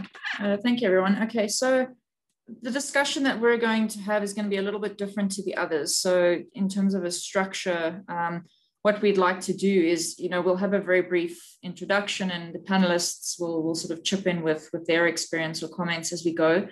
Um, and then what we'd like to do is is pose some questions you know have sort of a high level question um, in terms of discussion points. And then basically open it up to to the panel to, to everybody on, on the call you know for for comments and discussion just so that we can get some you know valuable input from everybody on the um, the discussion. It's not for us to to talk around too much today. So that's just the the structure we'll be following from from our our side so just a brief introduction. I mean, we've had a lot of talk the last two days um, about ESG and its its importance. Um, and naturally, you know, as we've heard, there's a growing concern from investors and other stakeholders that the companies disclose more about their um, ESG strategies, um, their governance, that you know how how they manage the the risks. Um, and there's there's both qualitative and quantitative metrics that companies use um, to describe their performance against these risks, um, you know, opportunities that they have and the, the strategies that they have in place. And I think it's important that um, investors can engage based on what is disclosed, um, you know, where, where the company's focus is, you know, their risk mitigation, the strategies they have in place, um, and ultimately their delivery on, on sustainable returns um, in the long run. I think it's it's key to remember that that we have to deal with this correctly now so that you know future generations still still have something to to look back on. And i think that's something i'd, I'd like to stress is that you know from from all the discussions that that we've had if we get it right now in terms of you know what we disclose going forward standardization you know all the the different topics in terms of um, ESG, it just makes it a lot easier going going forward for everybody else to to know what what's important, what the key focus points um, are. And, you know, for me, it's about mostly the, the transparency. Um, if you're transparent, if you're open, if you're honest, and you disclose what is important to you as a company, um, and you know what ultimately what factors your your shareholders derive the most value from in that disclosure, um, you know that that should be um, sort of at, at the top of your list. Um, you know, other points to remember is obviously the, the, the main things being the financial um, impacts. Um, and, and also, I think, particularly when we're talking about mineral resource and reserve reporting, is, is what factors are going to be practical. Um, we'll discuss CPRs as, as we go, but you know what, what's practical from um, building these documents, which are already huge and big and bulky. Um, you know, how can we streamline these processes? How can we take out or, or, deal with that complexity, reduce that complexity in the reports that, that we produce so that they don't become too bulky and cumbersome and, and people don't end up reading them or, you know, extracting value out of them becomes an, an issue. And I think a challenge that, that everyone is, is struggling with at this stage is that, you know, the varying reporting standards and frameworks in some way can, ha- can hamper a, a company's um, efforts to report meaningful data you know they're not sure what's important what's not and they end up disclosing things that they necessarily don't need to you know in, in that way bulking up things. So you know the, these are all things that that we need to keep in mind i think when we look at specifically our um, our components. You know what are we reporting? Is it important? Is it material? Materiality is obviously one of the most important. And I also think we need to, to, to, to bring that transparency as we do with, with our mineral resource and, and reserve um, reporting, transparency is key. So I'll move on to, um, you know, the intention of a CPR is, is, it's a technical report compiled by the competent person. And the con or the, the intention, I would say, of the CPR, as we know, is that, you know, specifically for the JSE, um, now with the, the SEC, um, all, you know, all the other um, le legislative bodies, is that typically the CPR is um, disclosed once or, or, loaded once with a JSE, um, you know, if it's a new listing or if there's a material change um, in the mine or the property. Um, so, you know, maybe just a comment here is that these CPRs, you know, it's it's not not necessarily an annual thing. Some companies may may update them annually, and that's their decision. But um, it's almost a, stat, a static snapshot in that point in time. And with ESG factors, I think it's important to remember that everyone's now scrambling to try and make sure they're compliant and having all these, these factors. But ESG factors are not static. It's, it's, it's a continuous process that has to happen day to day. So, is the CPR the correct place to put focus on ESG matters? There already is a lot inco- incorporated in, in CPRs um, as driven by the, the, the codes um, in the tables. We see it in both uh, and Val, um, and the, the SAMESG itself provides guidance as to what um, could support these, these reports. But it's important to remember that CPR is not a sustainability report. You know, it's not an EIA. And by adding too much information, as I've already said, it, will it not make it too, too big and bulky? I mean, for example, um, we had a SAMREC committee discussion, and some of these documents are coming out to be 700, 800 pages. And you know, people like Neil or investors or you know, people that get hold of these documents, it's it's a huge amount of, of data to sift through and to see, you know, what is material, what is what is not. So I think from a CPR perspective, we need to be very careful to be too prescriptive as to what we put in the um, guideline to say, you know, you have to include this in this. And, and like been has been raised previously from, from other people is um, we have to be careful of overlaps and duplication. You know, it, it may be of more value in a CPR to reference other reports, um, which, which is widely done. So that may be the answer from a CPR perspective is that where you can reference, you reference um, what is necessary as prescribed by the JSE um, or in the codes. You know, those things are naturally included. Um, but you know, the the detail. I think the the devil is in the detail. Is, is how much detail. You know, how what do we disclose? What is important to disclose? And we'll we'll go through that as we we have the um, the discussion. So you know, this was just an in, interesting infographic that that I picked up you know just for some people that that may not understand you know what's all encompassed and and i think the comment here is that you see there's a huge um, amount of of topics that's covered in in all all three of the pillars. And you know to focus and have some aspect of of all of these and more included in a specifically a cpr report it's just going to get too too massive. And and that's where the the linking and the the referencing i think is is going to come in here. Um, so i think um, if, if I just go back to, to this one here, um, I'd like possibly if, if any of the panelists have, have comments, you know, on specifically their experience of a CPR, the intention of a CPR, and you know what what their feeling is in terms of um, what to incorporate, what not to incorporate, and how we deal with um, ESG matters specifically in a CPR report. If anyone wants to comment. I'm happy to kick off, um, maybe with just just posing another challenge, um, and, and probably more broadly than just this panel, um, the, the, the, to the rest of the delegates too. I mean, uh, Nicole, I agree with your statement around a CPR not purporting to be a sustainability report. And I think equally, we should be very wary of creating a position where a CP is required to or purports to be an ESG expert. Um, I think you know there's a there's a lot of responsibility a CP takes um, already. Um, we, we will later on in this discussion, no doubt, talk about consultation and the importance of understanding all of the ESG elements. But I would just also caution about any process that forces a CP to take on more responsibility that they than they are competent to do. Um, I think what we are seeing in industry is far too many people claiming to be ESG experts or doing limited training and and and and putting forward uh, ESG credentials on that basis. Um, in in in my experience, it's very difficult to define what an ESG expert is, for example. Um, so I would just throw that out as a potential challenge as well. Thanks, Neil. Can I just make a point on, on that as well?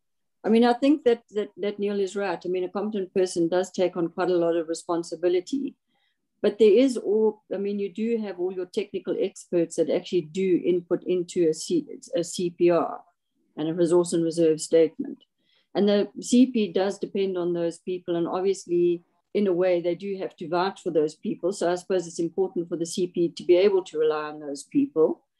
And I think the same would be the case in the case of ESG aspects, is that the CP or the CV would actually have to rely on those people. As a competent evaluator, I rely on many people in terms of their inputs into evaluation, and ESG is no real diff- there's no real difference. I mean, I rely on an ESG person or people um, to provide the necessary inputs for a competent valuation. So, Nicole, my take is this.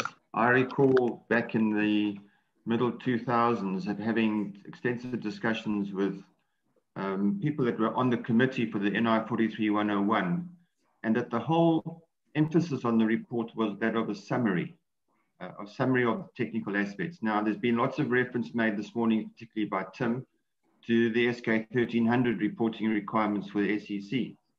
Now that follows a very similar format to the NI 43101 uh, method of reporting. And again, the, the whole the report is called a technical report summary. The issue now comes down is, is to how do you get the right level of, of detail in to satisfy all your report, reporting requirements and still maintain that of a summary. And uh, the minute you have to start referring to other documents, uh, appendices and the like, it just becomes very difficult to follow the flow of an argument. So we have to find a way of condensing, summarizing, and getting the key information across as, as Tim mentioned this morning, what is material? It's not data dumping. Put in the material items, those items that really are going to be of significance to the, the entity, the operation, the project. And in days gone by, we used to use materiality as anything that was going to affect the bottom line by more than 10%. Um, but that doesn't necessarily apply to all things. And as we discussed yesterday, governance matters when it comes to uh, corporate, uh, what's the word, um, the, one's image in the marketplace, a very small event could actually be quite devastating in terms of your overall image. So it's it's a question of getting the balance right. Thanks.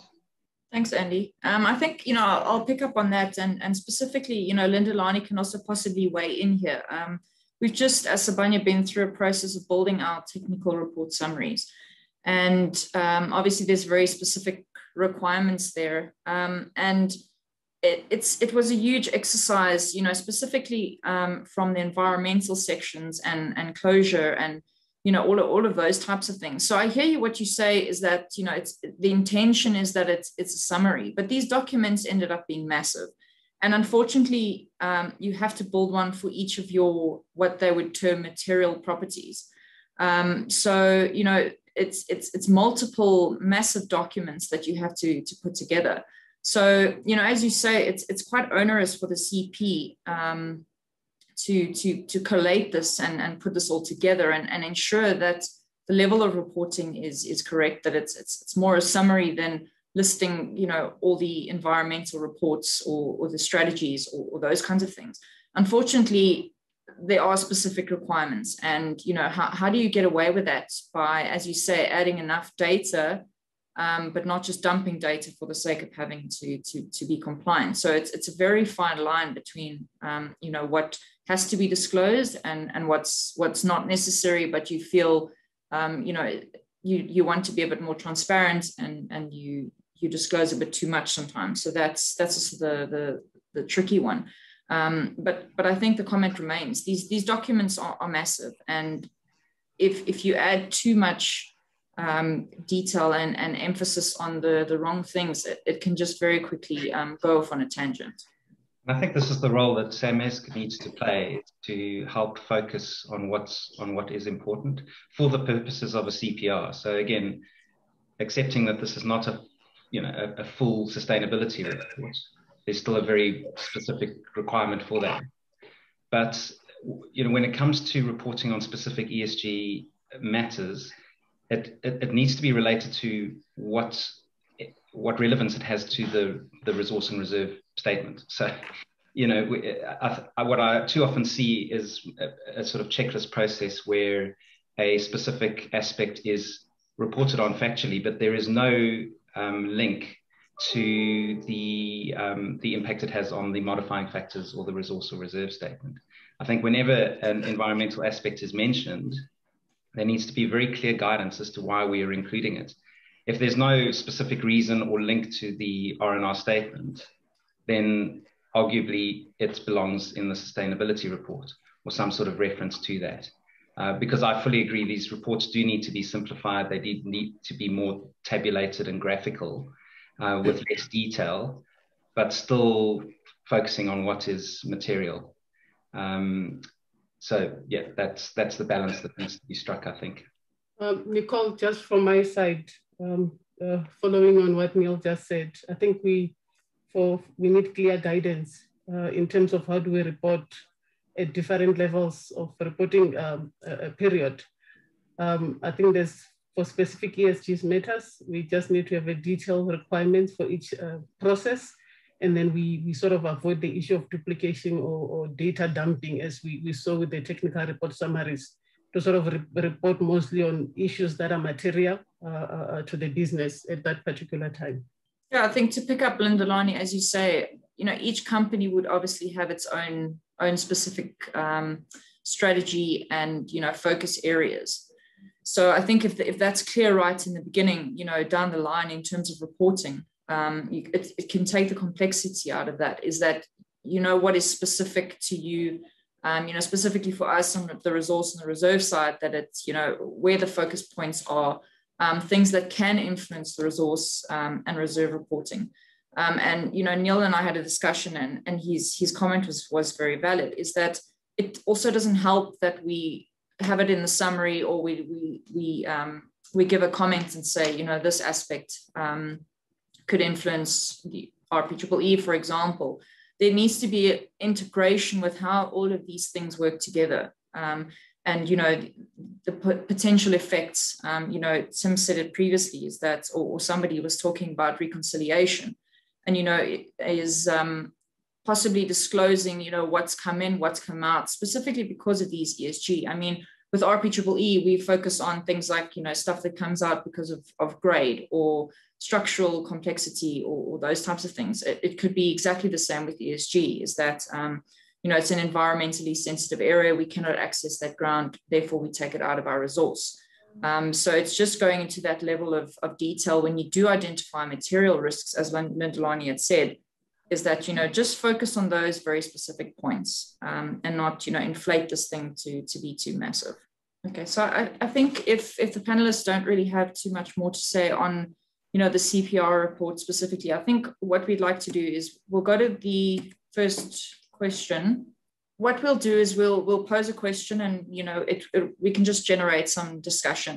Um, and i think maybe how we should kick this one off is is look at the different examples of what different companies are doing um, in terms of their um, esg reporting within their cprs currently. Um, you know things we can possibly discuss is how it's applied to RPEEE. Um, you know what would the impact be on life of mine plans um, what, what are the legal requirements in terms of the JSE, what has to be reported in terms of ESG. And I think it's important to note here, and this has been a theme throughout the, the discussions, is that one size does not fit all. And you know, major corporates have teams of people creating these sustainability reports, um, whereas the, the, smaller businesses or you know the the juniors don't necessarily have that level of detail. They don't have the people to to do that. So I think when you become too prescriptive and we you know we had a, a, panelist discussion earlier in the week if you become too prescriptive in terms of what you need to incorporate in these reports it it can be limiting. So you know these smaller companies will have to then spend the, the money to get external people to come and do these studies for them.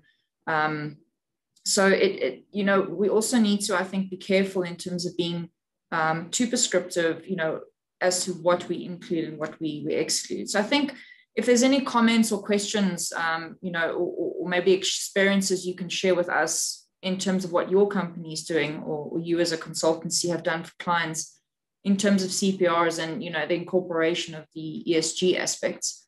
Um, I know that obviously the E and S component um, is covered. If you maybe have some discussion on the governance, which, you know, we'll, we'll get into later. Um, so I think we'll open the floor now if, if, if anybody would like to, um, to raise any questions, you know, on this point specifically. Uh, Bruce Williamson has a hand up. Bruce? Yeah, uh, hi, good day. Um, just, you know, this whole issue of not being too prescriptive, I, I sort of I buy into a lot of that. However, with an investor hat sitting here, if we're looking at not only the South African resource market, but also listed companies around the world, it then puts a lot of pressure on investors to start working out well, who is abiding by which set of guidelines, which rules. And so you're really passing the ball to the investor. And, and then what happens is they give up because, as you've pointed out, the large companies have the wherewithal to to, really do a, a great job. And so investors say, look, you know what? The bottom 80% of the market, I'm just going to ignore and I'll just invest in the top 20.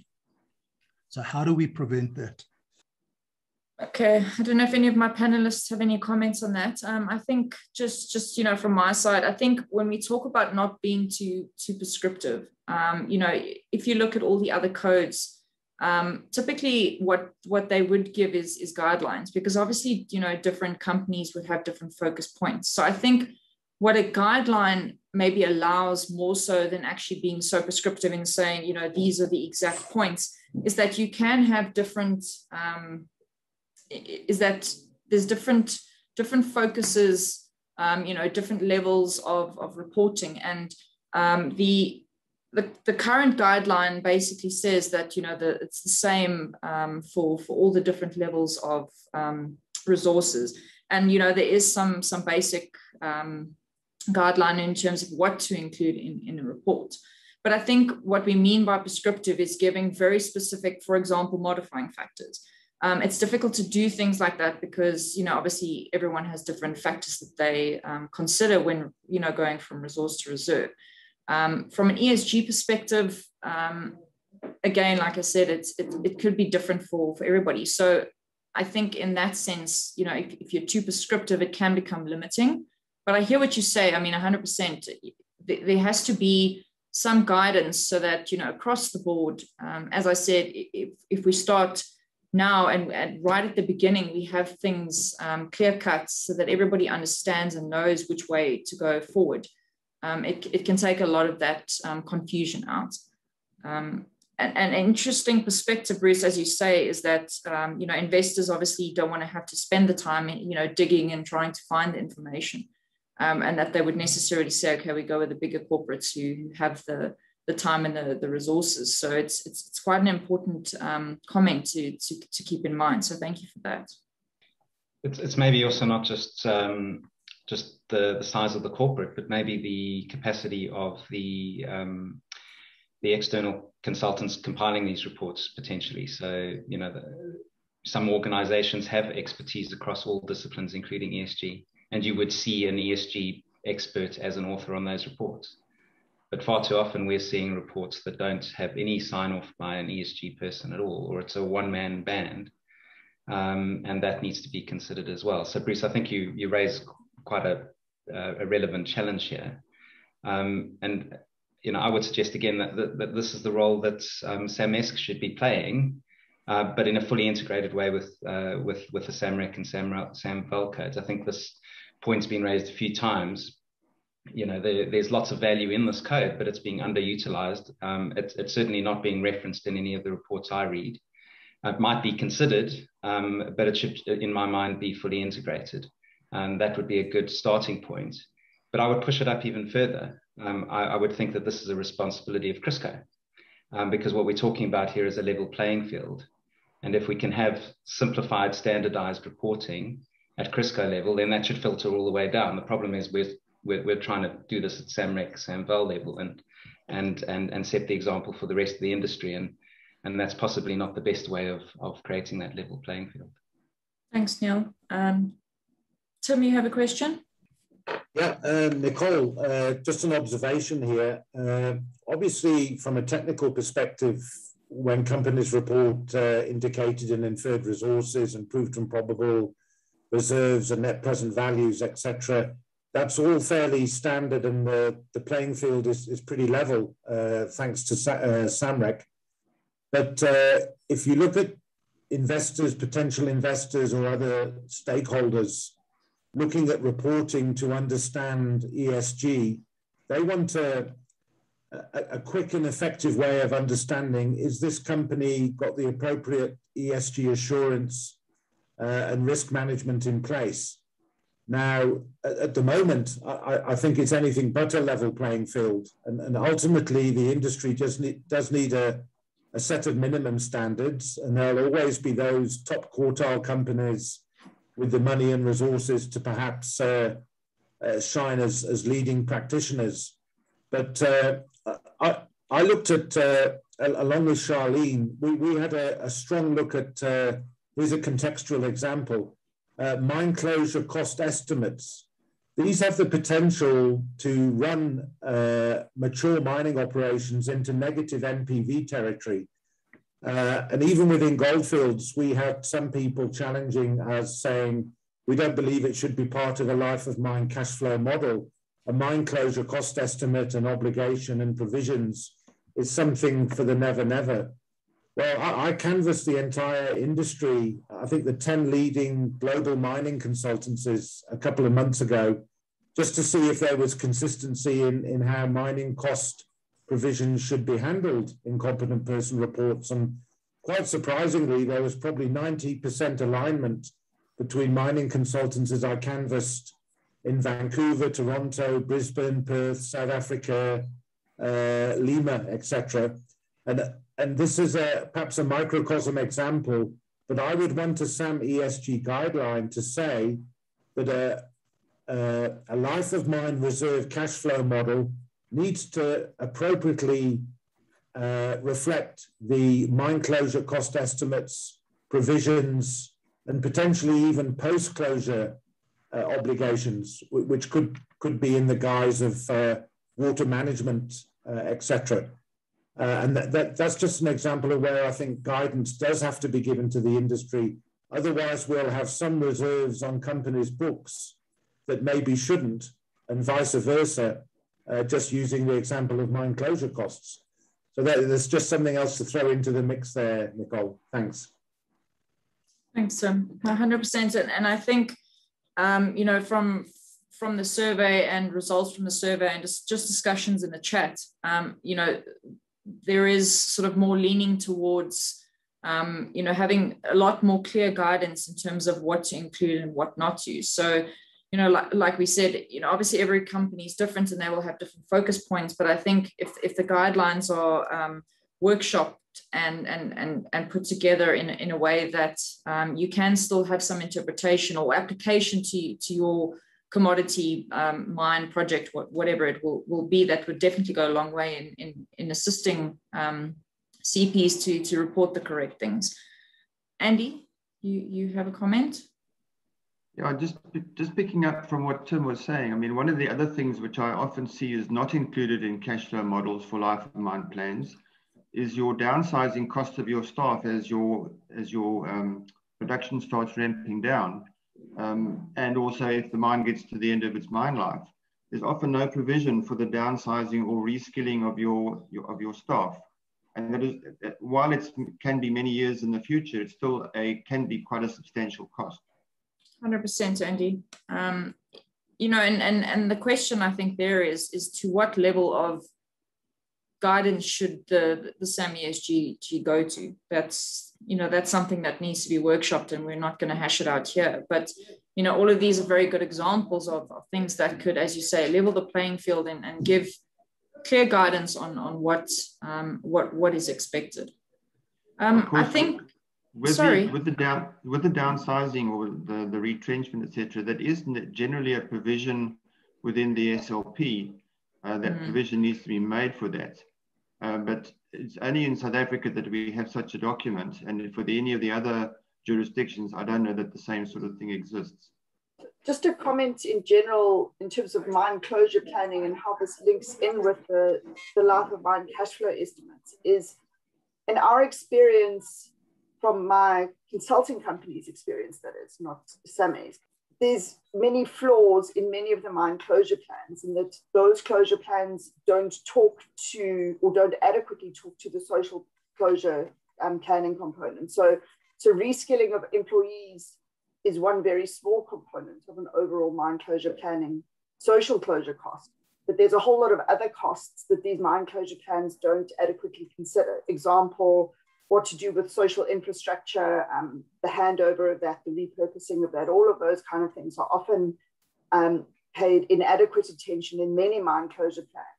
Um, and if those mine closure plans are being relied on by CPs or by um, preparers of, of annual reports, then you're not going to have a life of mine cash flow forecast that is, is correct because there's, there's, there's gaps um, in the, the sort of underlying document. And so I think that's a, a challenge for the mining industry is to, is really we need to upskill and improve the quality of all these underlying documents so that the a document like a, a, mineral reserve and resource statement, something that's updated annually, that draws on these documents actually has adequate and reliable information, um, you know, to feed into it.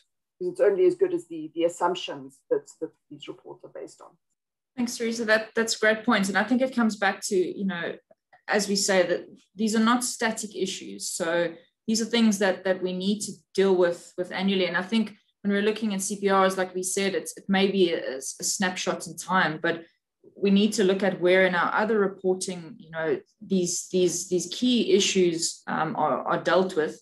Um, but you know, will it then require, um, for example, rewrites of CPRs or updates of CPRs to, to include, um, you know, new guidelines, those types of things? Um, you know, obviously CPRs are sent off, off to the, the JSE and, and my understanding is that, you know, they're not necessarily looking at a rewrite to include um, any of, of these issues. Uh, you know, like Neil said, we're sort of taking it on ourselves to, to, to create this guideline. So you know, are, are, we creating a situation for ourselves where we've put together this, this guideline now, which then requires, you know, updating of these CPR reports? Um, you know, naturally the annual reports um, will get updated um, as, as the process allows, but will we then have to go back and revisit CPRs um, to include the, the new information to correct, um, you know, these financial valuations? Um, is that sustainable? Do and you know do, do we have the time to to go and do that? So i think it's it's something we we need to think about.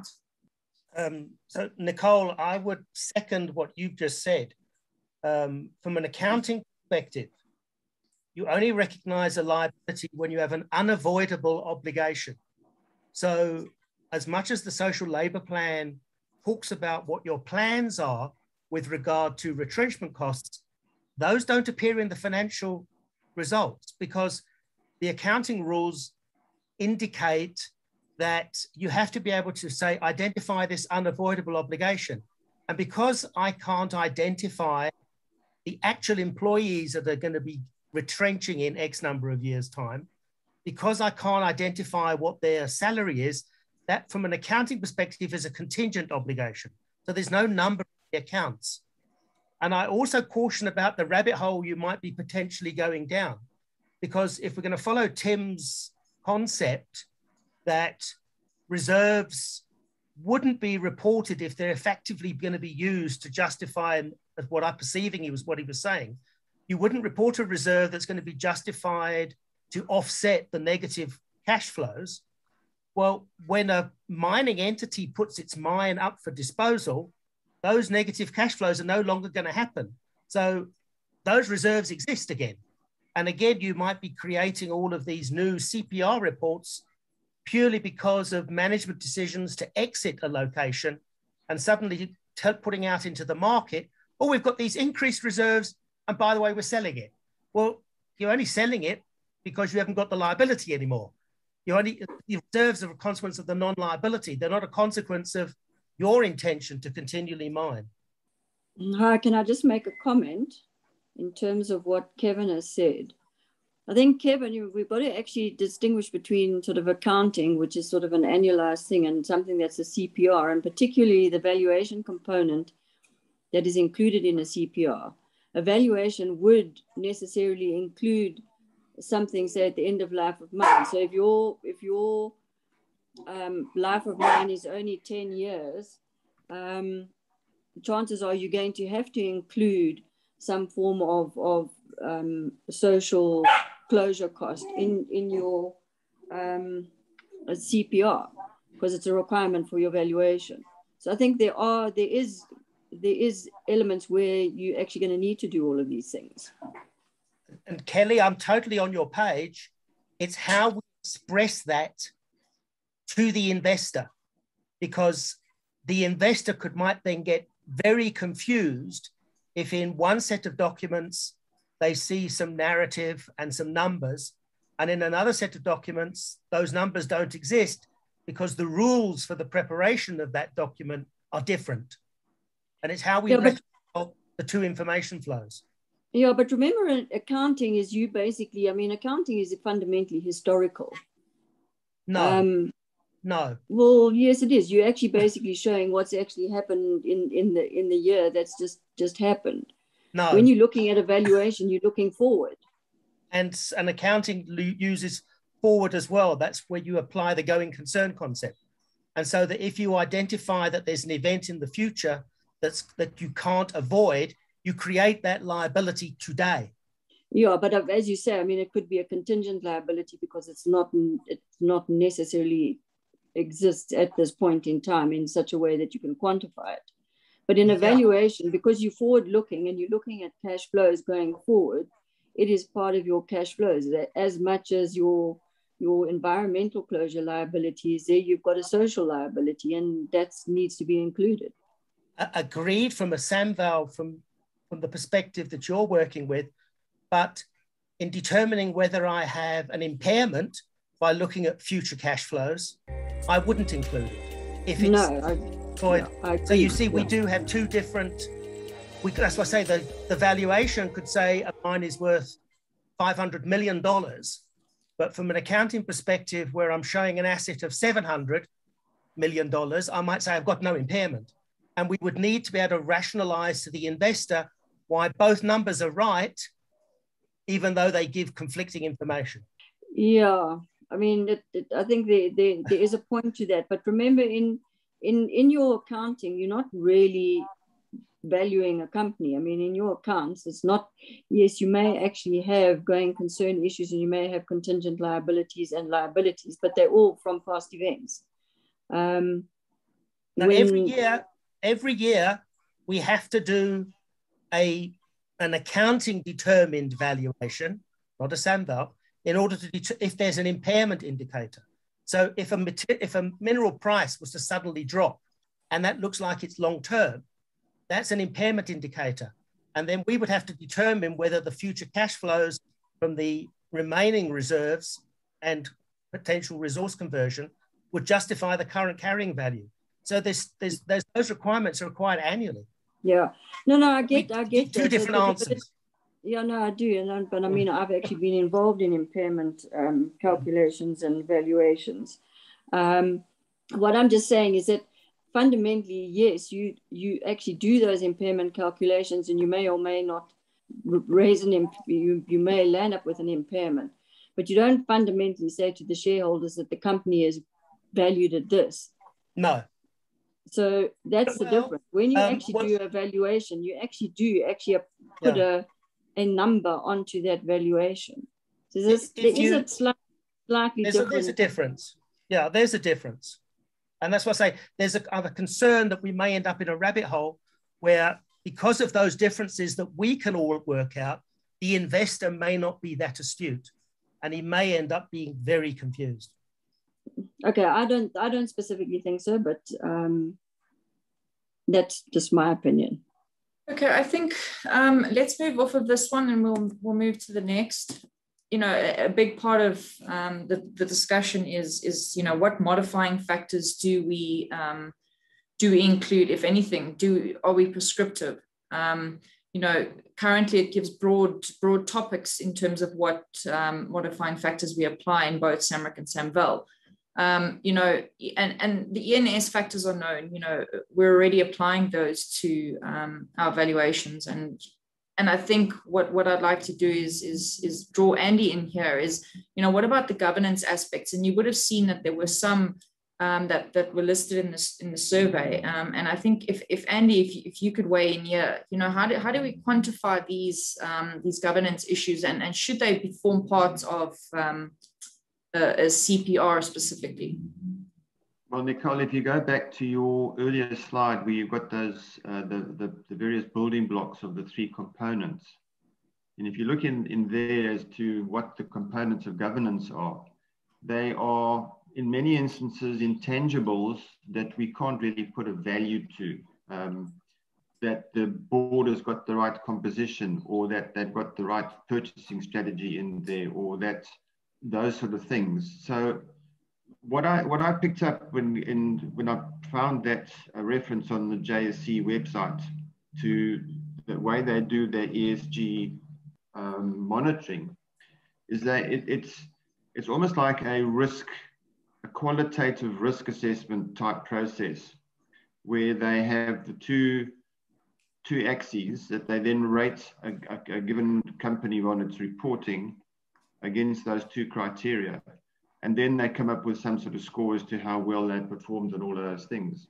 This to me is the, is the big imponderable is, is on the governance matters because, I mean, if you, you just got to take Steinhoff and Tongaat and EOH have all been category one JSE companies that are all uh, part of big corporate issues over the last few years. Um, even the the skilled auditors uh, weren't, weren't able to pick those up. And how do you put a value on those issues? How do you determine what the cost is? I mean, that to me is a, is a big imponderable, and I have no way at the moment of advising or even suggesting how it, how it could be done. But while everybody's been talking, I thought uh, there is a way of simplifying, and I'm going to say this very tongue in cheek a very easy way to simplify all these ESG matters. And that is that the ESG guidelines set down a set of specific criteria for each of these building blocks here that you've got for environmental, social, and governance. And then in, in any form of public report, it's a simple case of environmental pillar one, does it comply to these criteria, yes or no? If it's yes, fine, tick. If it's no, no, and you, then the end of it, you weigh up all the all the yeses and the nos, and if you've got more yeses than nos, then you're doing okay. I'll leave it at that. Thanks, Andy. I don't know if anybody else has any ideas in terms of specifically the, the governance portion and you know how we deal with that in, in our specific space. Nicole Teresa here. I think the you're right. The governance is really difficult um, to to quantify because typically where you get the biggest governance risks is where companies don't have the processes in place. And so you, you need to ask your question yourself whether or not a company would disclose that they they don't govern themselves, you know, in line with say common corporate governance principles. So so I think governance needs to be largely around the transparency and the disclosures because investors can then make their own informed decisions as to whether they consider those governance processes to be adequate for that company. I think it's quite difficult to put a, a, rand or dollar value to those things, and that the more transparently companies disclose the way that they govern themselves and the, the processes they have in place, I think the I think that's in in my personal opinion how how we need to address governance, um, because you you you, you can't value it, or people won't be honest about it. That's that's my view. Yeah, I think that's a good comment in terms of transparency. Um, you know, the, there was a comment from Fiona in the chat um, earlier. Is that I think that if if we display an understanding of the modifying factors we've used, and they don't necessarily need to be numbers or, or figures that that are, are thrown around. If, if you really understand them, and you you show the understanding and the the the description and, and you give the data and the information, you know, that, that should be good enough in terms of, of disclosure. Um, it doesn't necessarily mean that you know we have to um, deal with it from a quantification perspective, but it, it comes back to the the question is in a in a CPR, which is a technical document. Um, you know, do we even have to mention those things, or, or do we just reference you know other other reports? Um, is is it just going to bulk the reports up with with things that may not necessarily be um, in our jurisdiction, if, if if you want to put it that way? Yeah, I, w- I worry about this one, Nicole, because um, I, I, mean, you know, Andy suggested what he was saying was maybe tongue in cheek, but there's there's some truth to that sort of binary nature. It's you know you're either good at governance or you're not, and and would the CP want to be reporting on that in a competent persons report? What what would the purpose of that be? And if the judgment was that the, the company was failing at governance, well, what's the implication of the modifying factors? Well, it's it's, it's a loss of your license to operate. You don't have reserves. I, I, I, just struggle to see this being practically used um, in a CPR for the purposes of mod- modifying factors. That's not to say that it's not important and there shouldn't be some reference to it, but I just don't see how we as CPs can can practically use that. Yeah, I agree 100%. You know, the CPR, in my opinion, it's definitely not the place for it. And you know, reference to it, yes, 100%. It's it's an, it's an important factor, but I think in our space, um, you know, it's it's it's a bit but uh, you know out of our depth. I think to to have to then, in addition, deal with those things. So um, agreed on on that one. But do you not think that these are issues that could actually be raised in your risk report? I mean, often general governance issues um, and even legislative issues, if legislative issues actually fall under, under the governance, are generally raised as risks. Sometimes you can't quantify it, but it is raised as a risk. If you raise it as a risk, at least the, the shareholder or the investor is informed. Yeah, I would agree with that. Absolutely. Thanks. Um, I guess I want to put a, a, question out there that with respect to, to governance, is our nervousness and everything about it because we are either geologists, mining engineers, or, or a few of us um, environmental social practitioners. But there are people that understand governance issues, uh, particularly this concept of risk that Teresa and the others have, have talked about. Um, and, and, and maybe the question is should we be pulling in um, governance risk specialists as one of the resources that we rely on when we're doing CPRs. Just like we pull in ES, uh, environmental and social specialists, uh, processing engineers, etc. Tanya, you had a comment on that one? Just on that, remember that CPRs are not only written for large companies. We've spoken at length about the, the needs of the smaller company. If we have to bring in specialists from all walks of the, the earth, smaller companies are never going to be able to compete with that financially. So we want to be very careful as to what we think we need in and who's going to supply it and who's going to pay for it. Yeah, I mean, is, is it not good enough that these things are dealt with in, um, you know, the the other reports? Um, you know, a lot of it is, is dealt with in the annual reports of companies, um, remuneration, those types of things. Um, you know, Jonathan said it in the um, in the comments here that a history of non-compliance and legal action may indicate issues with governance. Um, you know, typically legal issues are, are covered in um, annual reports and, and, and such. So you know, I believe that, you know, as technical specialists, you know, who are building these documents, it, it's definitely not necessarily anything in, in our scope. And I believe we, we should then rely on, as you say, the other, the, the people who are experts in this, um, looking at your, your risk registers and those types of things um, dealt with elsewhere, not necessarily in CPRs. Um, I, you know, I don't believe that there's a place for, for that specific topic in, in a, a CPR specifically. Yeah, Nicole, it occurred, it occurred to me that, I mean, we do have the King 3 and the King 4 codes of, of uh, corporate governance.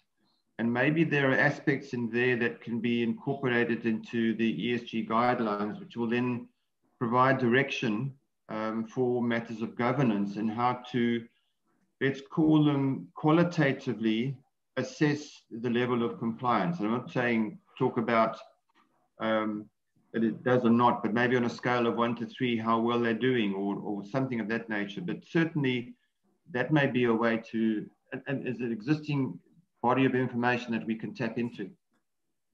Agreed. And I think something else that, you know, that, that I just uh, thought of now, and, you know, the discussion earlier with um, Keith and Kelly is that, um, you know, these things could have the potential to um, have a financial impact down the line.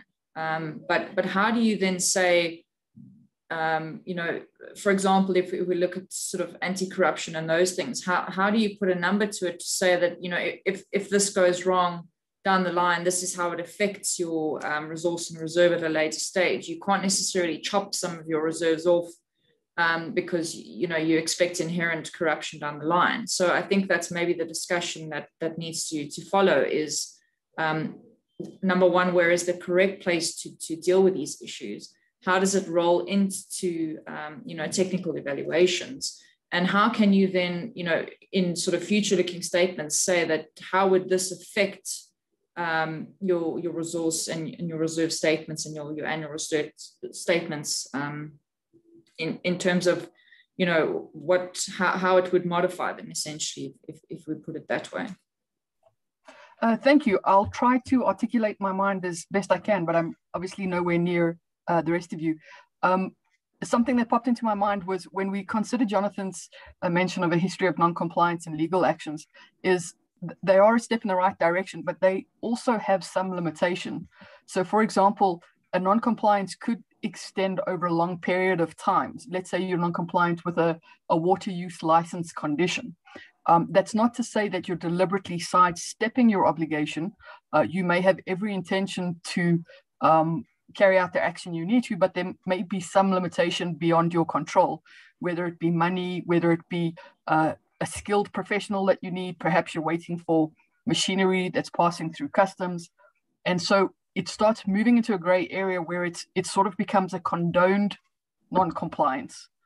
And then similarly with a legal action is that uh, very few people I would imagine would uh, deliberately and knowingly step out and, and act in a way that's uh, contrary to what they should be. Um, and it becomes a, a, very gray line. So often you see when you read legal uh, documents is that two parties had uh, opposing perceptions on a common event. So it would be difficult for the CP then to, without staking their own uh, reputation on saying which is the correct interpretation of something that's going wrong or something that's being decided in the courts. And as, as a closing uh, sent- sentiment, I would also be curious to see how it might play out. Is uh, imagine a hypothetical situation where a competent person prepared a report uh, through whatever mechanism said um, the ESG governance is very good, uh, hooray, hooray, and that company were to, in a later year or years, uh, be shown to be um, villainous, having done some atrocious thing, how it might come back then and then discredits either the person, their institution, or the collective uh, professional organization. That's it from the peanut gallery. Thank you. Thanks, Carrie. I think you know if I pick up in terms of just your your first comments about sort of condoned um, non-compliance, if you will, I think it's important there that that the company demonstrates that there is some mitigation factor. You know, specifically with with water use licenses, you know that is a tricky one, and I think as long as you can demonstrate that um, you have some mitigation um, in place, um, eventually you will have to deal with that that issue, whether it be a long term or a short term. But you know, it, it's important that these things are disclosed, um, that you know your plans are, are put forward, that you're transparent about that, and that there's an understanding in terms of the delays, if any, um, for implementation to to fix those problems. So thank you for for that comment, Kevin. If we're going to go on to this transparency page, um, fairly left wing but maybe within the competent persons report, um, there's an analysis when it comes to per mine analysis as to whether reserves or resources are at risk.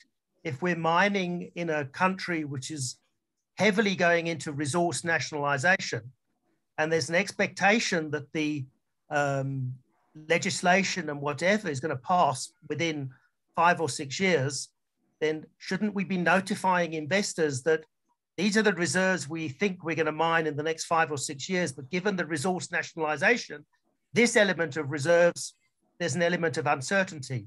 It still qualifies as a reserve because it depends on what happens with the resource nationalization legislation.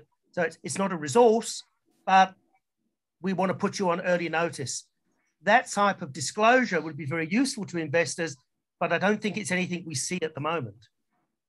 I don't know if any of the panelists would like to pick up on that one. Um, just in terms of disclosure of, you know, the, the political situation of, of a country, um, typically those things are dealt with in CPRs. Um, so there is some discussion regarding that. Um, and it's dealt with extensively in, in terms of um, the, the, the, the risks. So it, it'll definitely be picked up as a, as a material risk um, should there be something like like that coming up. So um, yeah, I don't know if any of the panelists have any other sort of comments on on that point. Um, I think Nicole, as I said earlier, I think the focus should be on materiality. Um, so if it's something like this that we know is going to affect your resources and reserves, then you need to de declare it as a risk. Um, uh, it's, it's, it goes back to, to, to transparency risk and also focus on materiality.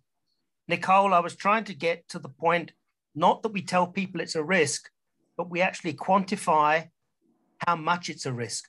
So if it would constitute 40% of the current declared reserve, people get told that, as opposed to the way there's resource nationalization, so we don't know what's going to happen.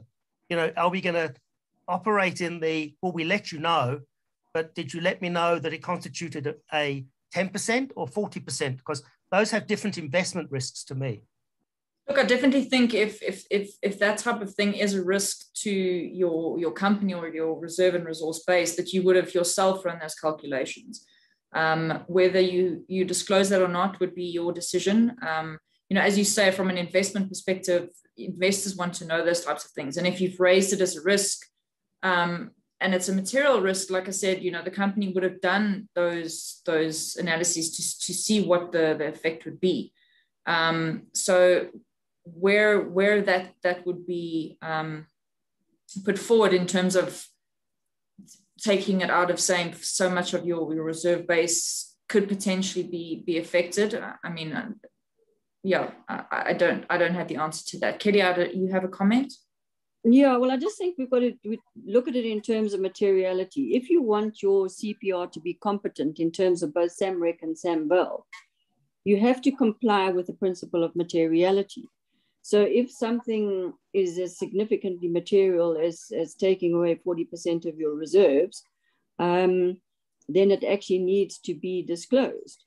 Um, and particularly if it's going to affect your valuation quite significantly, it has to be disclosed. Otherwise, your valuation could be deemed incompetent. Um, and whether it's 10% or 40%, you really should be quantifying it because probably both, in my mind, are probably relatively significant or material. 100%. Andy? Yeah, the problem when it comes to governmental matters, and I'm talking government rather than governance, is that if you start talking about future legislation or um, governmental noise in terms of resource nationalization, etc. We've had lots of rhetoric in South Africa of expropriation without compensation and all similar sort of things that have been going on for years, but nothing has materialized. And to, to now try and take a stab as to when that is when that could materialize um, is, is, is way, I mean, we don't even get involved in doing metal price forecasting. So how are we supposed to be able to predict or forecast when government is going to sign new legislation into, into being? It, it's, a, it's a very, very difficult um, thing to predict. But again, Andy, as you would do with metal price forecasts, I've yet to see a valuation that doesn't have as their, their first risk is the uncertainty in metal in metal prices. So same in terms of other ESG issues, it could be raised as a risk. You're not necessarily quantifying it, but you are raising it as a risk. So the the investor is still informed. Yeah, Kelly, you're right. And Nicole did, did refer to that, that um, it would be included in your risk discussion as to I mean, the governmental factors is always a risk that uh, is is highlighted in any, any competent person's report. And I think we need to be careful as well. Um, I mean, I hear what you say, Kevin, but I think you also don't necessarily want to spook investors. I mean, it's something that's entirely out of your control. Um, you know, that's why you raise it as a risk, and and whether you you you've quantified it as as a company or not. I mean, typically you would have done that that evaluation, but I think if you disclose too much, sometimes it it can also work against you. So I think it's it's it's again just a fine line with what you just you know too much can be too too much of it too much can create problems as can too little. Um, so it's that that fine balance as to you know what what you disclose and what, what you don't. Nicole totally on your page. Totally agree hindsight is an exact science. Um, it's just that if we're looking at governance and not just governmental factors we need to cons- we need to act not from you know uh, from wearing two hats. We have to look from the professional skepticism of being, am I providing the right information to the corporate in my role as a, a competent person? And also, but am I not, but I must also be making sure I'm not assisting the corporate in not disclosing material relevant information. And it's finding that fine line, which is a very difficult line to treat mm. When you're an employee in in how to work both sides of that angle. For sure, but I don't think as CPs that's our decision to make at the end of the day. You know what what's material in terms of that. Yes, if it affects your resource and reserve, uh, definitely. But um, you know, in terms of the materiality of a risk, um, I think that sits outside of, of our scope of, of expertise. Um, just in terms of that, Kelly or Andy. Yeah. Yeah, just, uh, just picking up on what Kevin was saying. Um, it's an ongoing, ongoing saga that we have with with clients when we're doing, we're compiling competent persons reports because by nature, we as consultants tend to take a more jaundiced view of what's what's happening and report it in negative parlance, if you like. And then the company comes back and says, but this is too negative. Can't you make it more positive? And it's getting the balance between what I can call half empty, half full glass to still say the same, make the same comment, but to maybe put it in a way which doesn't completely crucify the situation, and but it still gets your point of view across. Kelly? Sorry. Yeah, I think um, Andy hit the nail on the head. I think if there are no other comments on governance, I think let's let's move on from this one. Um, I see the, the time is, is running now. Um, so, you know, we've had quite an extensive discussion about what should and shouldn't be included in and I think this will definitely need to, to go to a workshop. Um, but I think in terms of, you know, just looking at the, the survey and, you know, expectations from that is that there is some expectation or, or should I say a wish list that you know, in, in the next update that there is a lot more guidance. Um, you know, perhaps if, if, if it's split, um, similar to, you know, alignment with the other codes in terms of um, being an exploration project, you know, the different levels of study, Um, but then you also have the um, the added complication of, you know, we have different reports. So there's the annual report, there's the CPR. You know, do you go to the level of breaking it down as to what is included in those reports, or is it just applicable to the different levels of, of study? Um, thoughts on, on, on this one?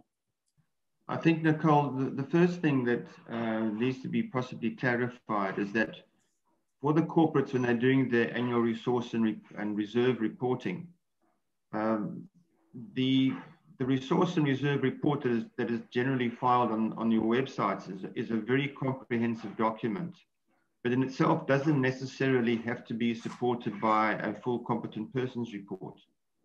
If, however, you're only putting in, well, if it's a new listing, then you would have to have it uh, generally. But, um, where you have maybe just a very brief summary in the integrated annual report, that would then need to be supported by possibly the competent persons report. Either way, the reporting still has to satisfy the requirements of the SAMREC code. And the JSE rules are very specific in terms of the disclosure requirements in an integrated annual report or your annual reporting cycle uh, as against, as compared to uh, a competent persons report, uh, the level of disclosure is very different and, and is, is, clearly set out in the rules. Yeah, I mean, a comment from from Neil in the, the chat I'd like to pick up that's, you know, obviously everything we've discussed, um, there are places for these particular topics, you know, government, those types of things. But, you know, as he stressed, the, the CPR is at its core technical report um, ESG certainly as a modifying factor and addressed only to the extent that it, extent that it may affect the estimate.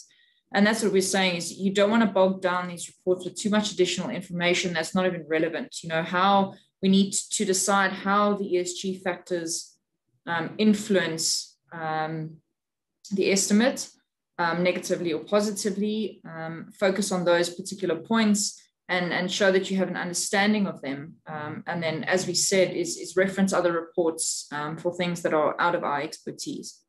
Don't know if anyone has any other comments in terms of what um, what we feel should be included and, and should not, other than what we've we've addressed now. No, I would just add that uh, you know Kelly's suggestion around um, more detail in the risk register makes a lot of sense because it's not it's not our attempt here to ignore ESG. Um, indeed we, we, we apply it where it's where it's practical to do so. But where there are those sort of unquantifiable aspects, they should still be acknowledged in some way, and that can be included in in the CPR in terms of a of a risk register because we do need to protect the lay investor as well, um, and that would probably be the best place to do that without having to take a view, uh, whether that's a legal view or a specialist view. There, there is some documentation of that you know, and to your point, Neil, you know, and, and we discussed this is that, you know, some of the some of the corporates obviously have these integrated reports where, where everything is included and you can reference or, or point them to, to specific documentation. But we go back to the one size doesn't fit all, is that um, you know, the juniors or depending on the level of, of study of the, the the project or mine may not necessarily have those documents to fall back on. And I think that's why it's important that they're they're given the guidance as to you know what they should include in their um, you know their CPRs or their annual reports or, or, other documentation that they do put together. You know, is it necessary to have a separate ESG report in those particular instances where you know that they cannot reference um, other documents? Um, you know, how, how how does one deal with with with that that particular one? Um, you know, if if you have it it's nice you can you can refer to it but if you don't you know you, are not going to spend the money necessarily to, to go and recreate things or reinvent the wheel so um, that's that's also you know a, a, tricky one is that we obviously want to keep to a minimum um, what's what's required in in specifically the technical documents but if you don't have those other documents to draw on um, where would you, where would you put those those issues where would you raise them is the CPR the right place for that? I don't know if there's anyone on the the chat that you know maybe has that experience. Is that you know your company or, or, or if you're a consultancy that you know has to draw on these reports? Um, you know, where would you typically source this this information? Would you go to the CPRs? Would you go to the resource reports? Um, where would you source this information or where would you expect to find it if it's not available in sustainability reports or, or, or those types of reports? No ideas on that one. Okay. I think let's let's move on. Um, so in terms of you know things that we haven't covered, um, and there's quite a bit of discussion in terms of the ESG specialist and the role of the CP in, in ESG. Um, you know, who, who's ultimately responsible to ensure that those matters are, are covered? Um, is it the CP that takes responsibility for his or her report that those, you know, matters are included there and, and sources on the uh, technical specialists to, to ensure that those are included? Um, I think let's let's have a bit more of a discussion on, on, on that because there's been quite a bit of um, you know discussion in the chat specifically on um, you know who's responsible for for these types of matters.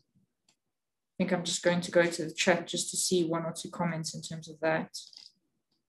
Yeah, so, so Tim put earlier is that um, how do we define and provide professional accreditation to an ESG expert for technical reporting? And, and do we believe that that's, that's necessary? Um, is it necessary to have an ESG expert? Um, or, or, or, can the, the CP take on that role um, not necessarily being an expert, but ensuring the compilation of the information and the reporting of that, that information.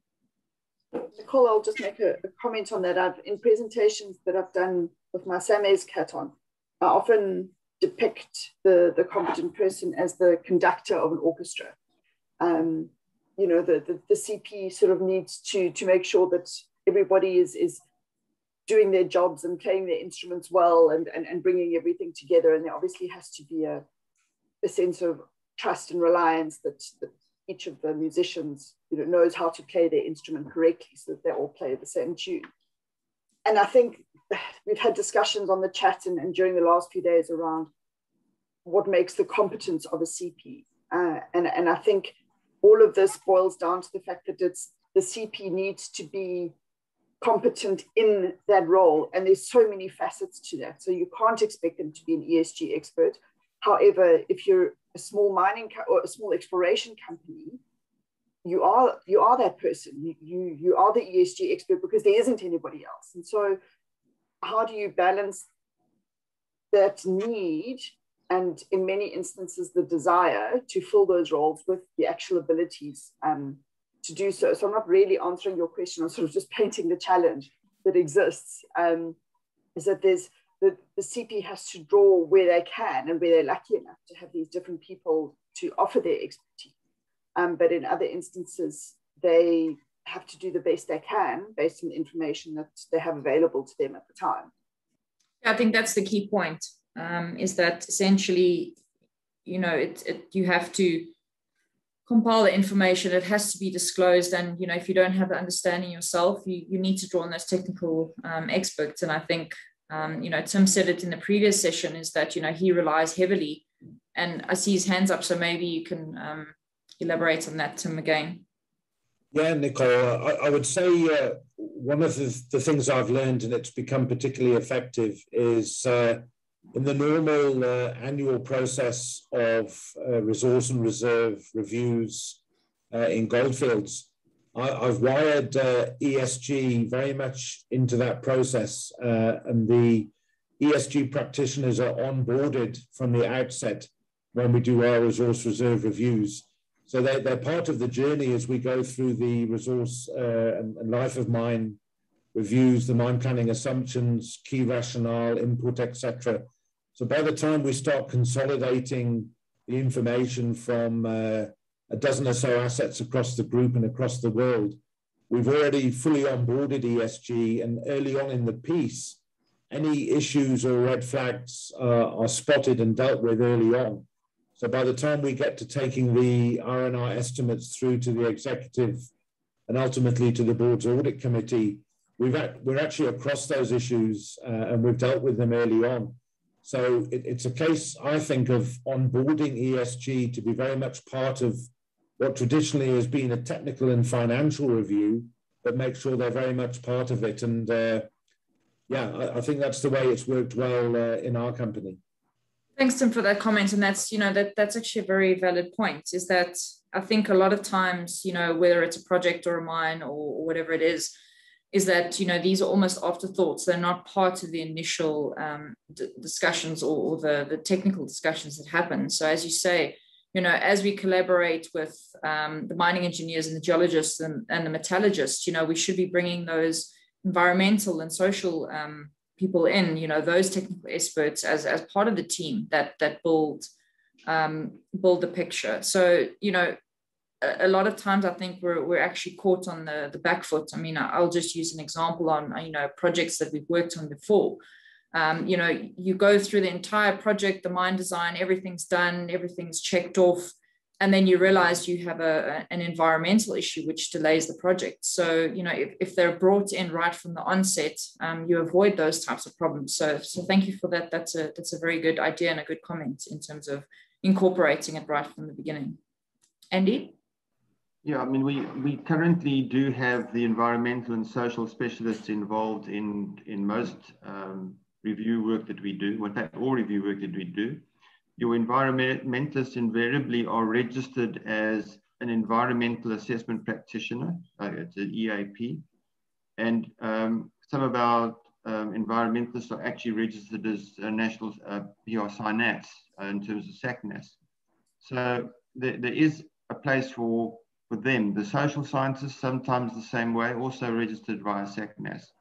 It's the governance issues which remain a problem. And the only way we can really deal with those is, is, is properly describe those in the, the risk register. And that then also begs the question is how much detail do you need to include in the risk register or the discussion leading up to the risk register to properly elaborate what those uh, risks uh, uh, of? I mean, I think I'll pick up on your point in terms of the, the, the, the risks there. Um, you know, when we were building our technical report summaries, there is specifically a section on, on risk. And, um, you know, in terms of disclosures of those risks, um, obviously the, the major ones or the, the material issues are, are, are what you, you put down there but again it comes down to you know what what you determine as as material may not be seen as material to investors or vice versa. Um, so you would definitely have to have um, somebody advising you on, on that type of um, you know that perspective. In terms of the risks um, is is i suppose rating them um, and and and having some rating or you know the scorecard system that they use in terms of looking at those risks to, to, to try and assist you from a technical perspective, what would be material and what you would have to disclose and the, the level of disclosure for, for those risks. So agreed 100%, that's, that's a good way to go about, you know, that particular issue. Not sure if anybody else has anything to raise in terms of, um, you know, the CP's role in, in ESG or, you know, bringing in technical specialists. Okay, it seems we have no more hands on that one. So essentially, just, yes. Just, sorry, sorry, Andy. Just one more thing. There was a time years ago where the company could be the the named competent person with a number of people that had been contributing to the team effort. And then the, the tendency was to be to move away towards named competent persons for um, resources and reserves. And in fact, if you look at NI 43101, they actually require that every single chapter uh, a person is states as to who they were respons uh, responsible for which part of the report. So you you kind of swinging um, the pendulum swinging the other way. I understand that in terms of SK 1300 that it is possible for a company to take the, the role of the qualified person um, take the responsibility for the report with a number of qualified persons signing off the report. So it's, it's something else that possibly needs to just be considered. Yeah, and I mean, I know there was some, you know, in, in particularly in the survey, is that you know, do you and and it is brought up in the guideline in terms of you know an ESG specialist. So you know, do do we go to that level where we we have that as an additional sign off? Um, is it necessary? Yeah, I, I don't know. I don't have the answer.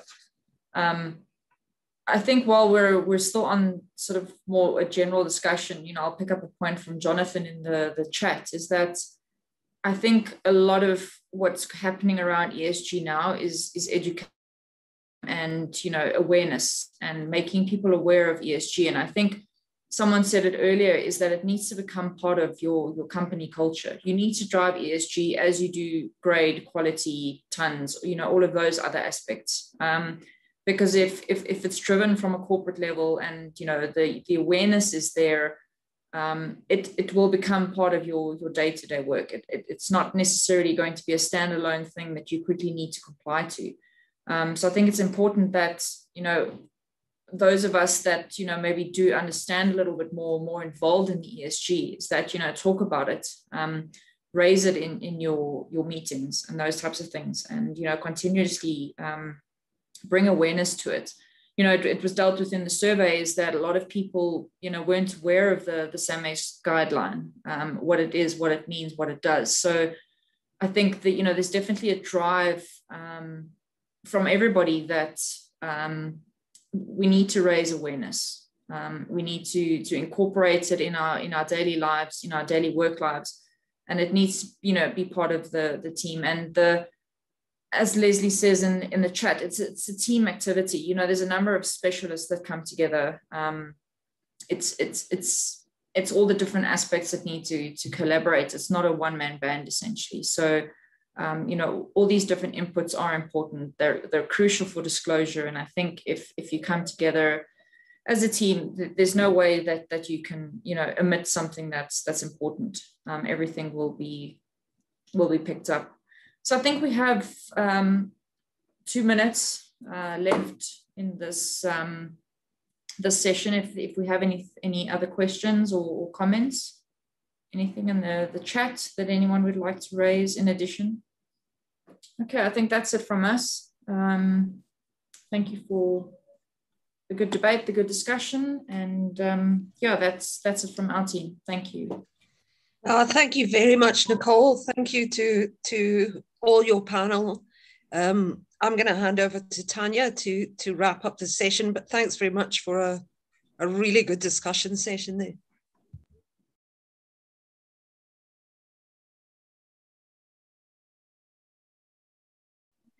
Tanya, over to you. Thank you. Just to confirm that you can see my presentation screen. Yes, we can. Yep, it's all good. Okay, great. Well, thank you everybody for the, the wonderful discussion that we've had the last two days. What I've tried to, to do in this section is to collate the issues that have run through all the various discussions. It's impossible to, to note down all of the, the things of importance, but what I've tried to do is to pick out the things that run through each of the, the discussions. So, for example, and Ken, um, Tim, I've stolen your elephant. I think he is too cute. ESG is not going to go away. So we need to figure out a way to make it work. That reporting isn't only for compliance, but it adds value. It's obvious that there is significant confusion as to the reporting of ESG matters. What is a sustainability report? What is a goes into an integrated annual report? what goes into a CPR. There's also limited awareness and understanding of, of SAMESG. And there's very much a need for practical direction, guidance, and clarity. Spoken about integration and standardization, which also comes out. We need greater in integration between SAMREC and SAMESG. What is the, the role of CRIRSCO in all of this? Is it the cart or is it the horse? How do we deal with social media? Mm. And one point that has come out very loud and clear is that one size doesn't fit all. We have the, the junior companies, which have very different requirements and abilities than the larger companies. Mm-hmm. Various project stages all have different requirements.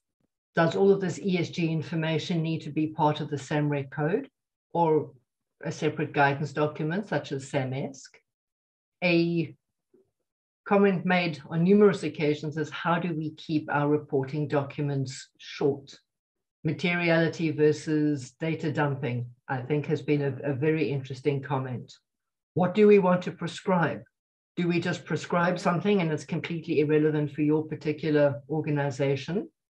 So just how much guidance does SAMESG need to, to provide?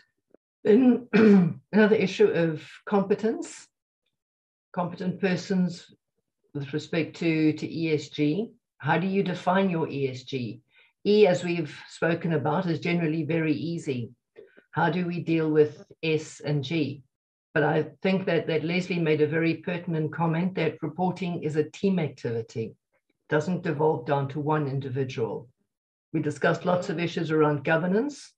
Many questions were raised there about what, if anything, should be included. Issues of overlap between ESG and other reporting issues. It's a waste of everybody's time and energy to report the same thing in three different places in a CPR or an annual report. And again, the fact that a CPR is not a sustainability report. And Neil made a very pertinent comment that the CPR is at its core a technical report with ESG as a modifying factor and should be addressed to the extent that it may affect the estimate. The difficulty is going to be deciding what is that level. So what do you need to do? Well, if you wish, you can join the, the SAMESG committee to assist with, with all of this going forward.